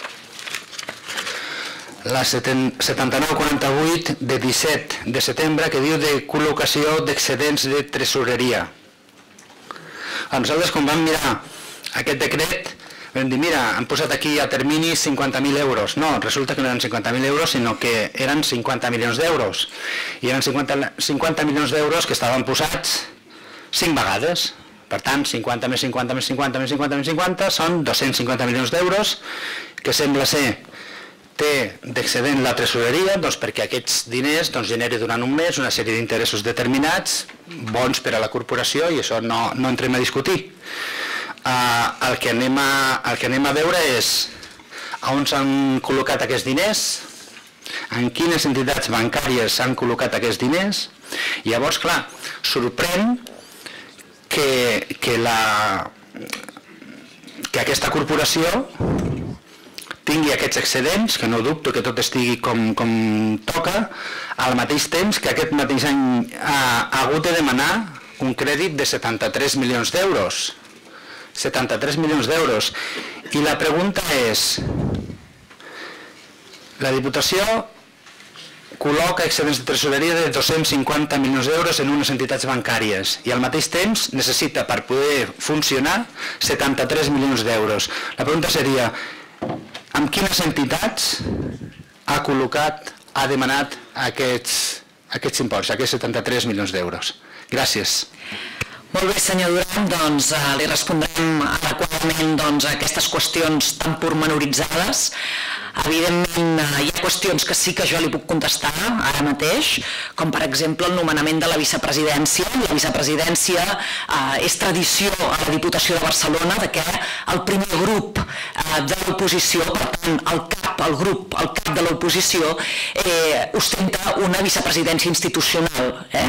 I per tant, això és el que es va fer, nomenar. Eh, a la roda de premsa no es va anunciar la vicepresidència eh, que corresponia doncs, al grup del PSC perquè s'entén que ja era conegut de la casa, potser vostès no, no en tenien coneixement i en aquest sentit m'hauran de disculpar si no els vaig informar adequadament, però eh, quan la roda de premsa es va anunciar l'acord d'equip de govern. Com comprendran, el PSC és, no està a l'equip de govern, és el primer grup i per tant el primer grup de l'oposició i és tradició d'aquesta casa que el primer grup de l'oposició ostenta una vicepresidència institucional. Per tant, les seves funcions són institucionals, evidentment, i eh, aquesta doncs, és la resposta. En relació a que li preocupava tant eh, de l'encàrrec del bust, eh, li diria que aquest és un encàrrec que es va produir en el mandat eh, passat i l'escultor o escultora eh, que eh, doncs, té aquest encàrrec necessita més temps, per tant necessita pròrroga. I eh, bé, eh, com sap, eh, una cosa és que nosaltres defensem políticament eh, precisament, com avui s'ha vist, la doncs, entrada a l'Associació de Municipis per la Independència i l'altra és que haguem de complir una sèrie de lleis eh, que doncs, aquesta casa eh, es fan complir. I per tant, a la mateixa manera que complim la llei de banderes, doncs eh, saben que es va substituir el bust que hi havia en aquesta sala eh, i per tant estem en aquest procés. Eh, potser doncs, quan estigui acabada aquesta escultura ja no l'haurem ni de posar perquè serem independents. Eh, Dir-li que en relació als criteris laborals socials els, eh, estic totalment d'acord amb vostè, de fet aquesta és una feina que es va fer a través de l'anterior vicepresidència que ostentava jo mateixa en aquesta casa, es va aprovar una sèrie de clàusules socials eh, i laborals i eh, l'àrea de contractació eh, té eh, per tant la instrucció d'aplicar precisament aquestes clàusules. Són unes clàusules que es van fer d'acord amb l'informe del síndic de Greuges de Catalunya eh, que doncs, eh, va col·laborar amb eh, aquesta institució perquè aquestes clàusules estessin aprovades, es van aprovar per aquest plenari, els diferents grups polítics, es va crear una comissió per a fer-ho i per tant són clàusules que s'apliquen i s'han de poder aplicar eh, doncs, amb tota normalitat a la casa. Una explicació política de la composició del govern, doncs eh, miri, eh, un govern quan es eh, eh, configura eh, el que fa és a través doncs, de l'acord entre dues formacions polítiques organitzar eh, de quina millor manera podrà dur a terme doncs, la tasca i l'exercici que té encomanat i nosaltres hem considerat que la millor manera és fer-ho amb les vicepresidències que comptem. Eh, és absurd dir que abans n'hi havia tres i ara quatre o quatre i ara cinc, és que és totalment absurd a vegades per l'organització i conformació et surt més a compte i et vols organitzar d'una manera políticament i per tant en aquest mandat precisament eh, i això ho veuran després en el pla de mandat s'ha considerat que la vicepresidència de Cultura era estratègica per aquest mandat i per tant es va considerar que era necessària la seva eh, creació. En relació a les altres qüestions, però hi ha qüestions eh, molt mm, de detall que jo li agrairia, a més li oferim les comissions informatives per tractar-les, no tenim cap inconvenient. Eh, jo no sé si els diputats i diputades eh, hem, en el plenari hem de tractar dels preus de les cadires, és que no ho sé, eh, però fa bé de dir-ho, vull dir, eh, i per tant, eh, bueno, pot ser doncs, uns expedients que nosaltres eh, fiscalitzem més i per tant ho mirarem. I una altra qüestió crec que també important és que a, a partir ja aquest, aquest dia 1 d'octubre una sèrie de mesures de justificació de la tasca dels eventuals dels grups. La presidenta enviarà a cada president de grup eh, de, doncs, no parlamentari, no? grup de, doncs, de la Diputació, eh, unes instruccions, una circular, eh, per com vostès han de eh, justificar, no fiscalitzar, perquè, però jo entenc que la tasca que tots volem que facin les persones eventuals que tenim al servei dels nostres grups és una tasca que és eh, doncs, necessària, que és una tasca que a més a més ha d'estar eh, al servei del grup que tots representem, de cadascun dels grups, però al servei dels municipis de la demarcació. I per tant aquesta tasca ha de quedar recollida també i per tant rebran eh, per fer per fer-se efectiva ja a partir d'avui, de, de 1 d'octubre, aquesta circular als presidents i presidentes de, de grup. La resta de qüestions eh, bueno, i forma part del pacte, a més a més, eh, signat i del pacte d'aquest govern. La resta de qüestions, sincerament, no les conec en detall perquè quan eh, hi ha convenis que segurament són eh, de continuïtat i per tant estem eh, doncs, a, a la seva disposició sobretot per justificar-los perquè tots entenem que es poden justificar sense cap problema. Eh, sí, digui molt breument.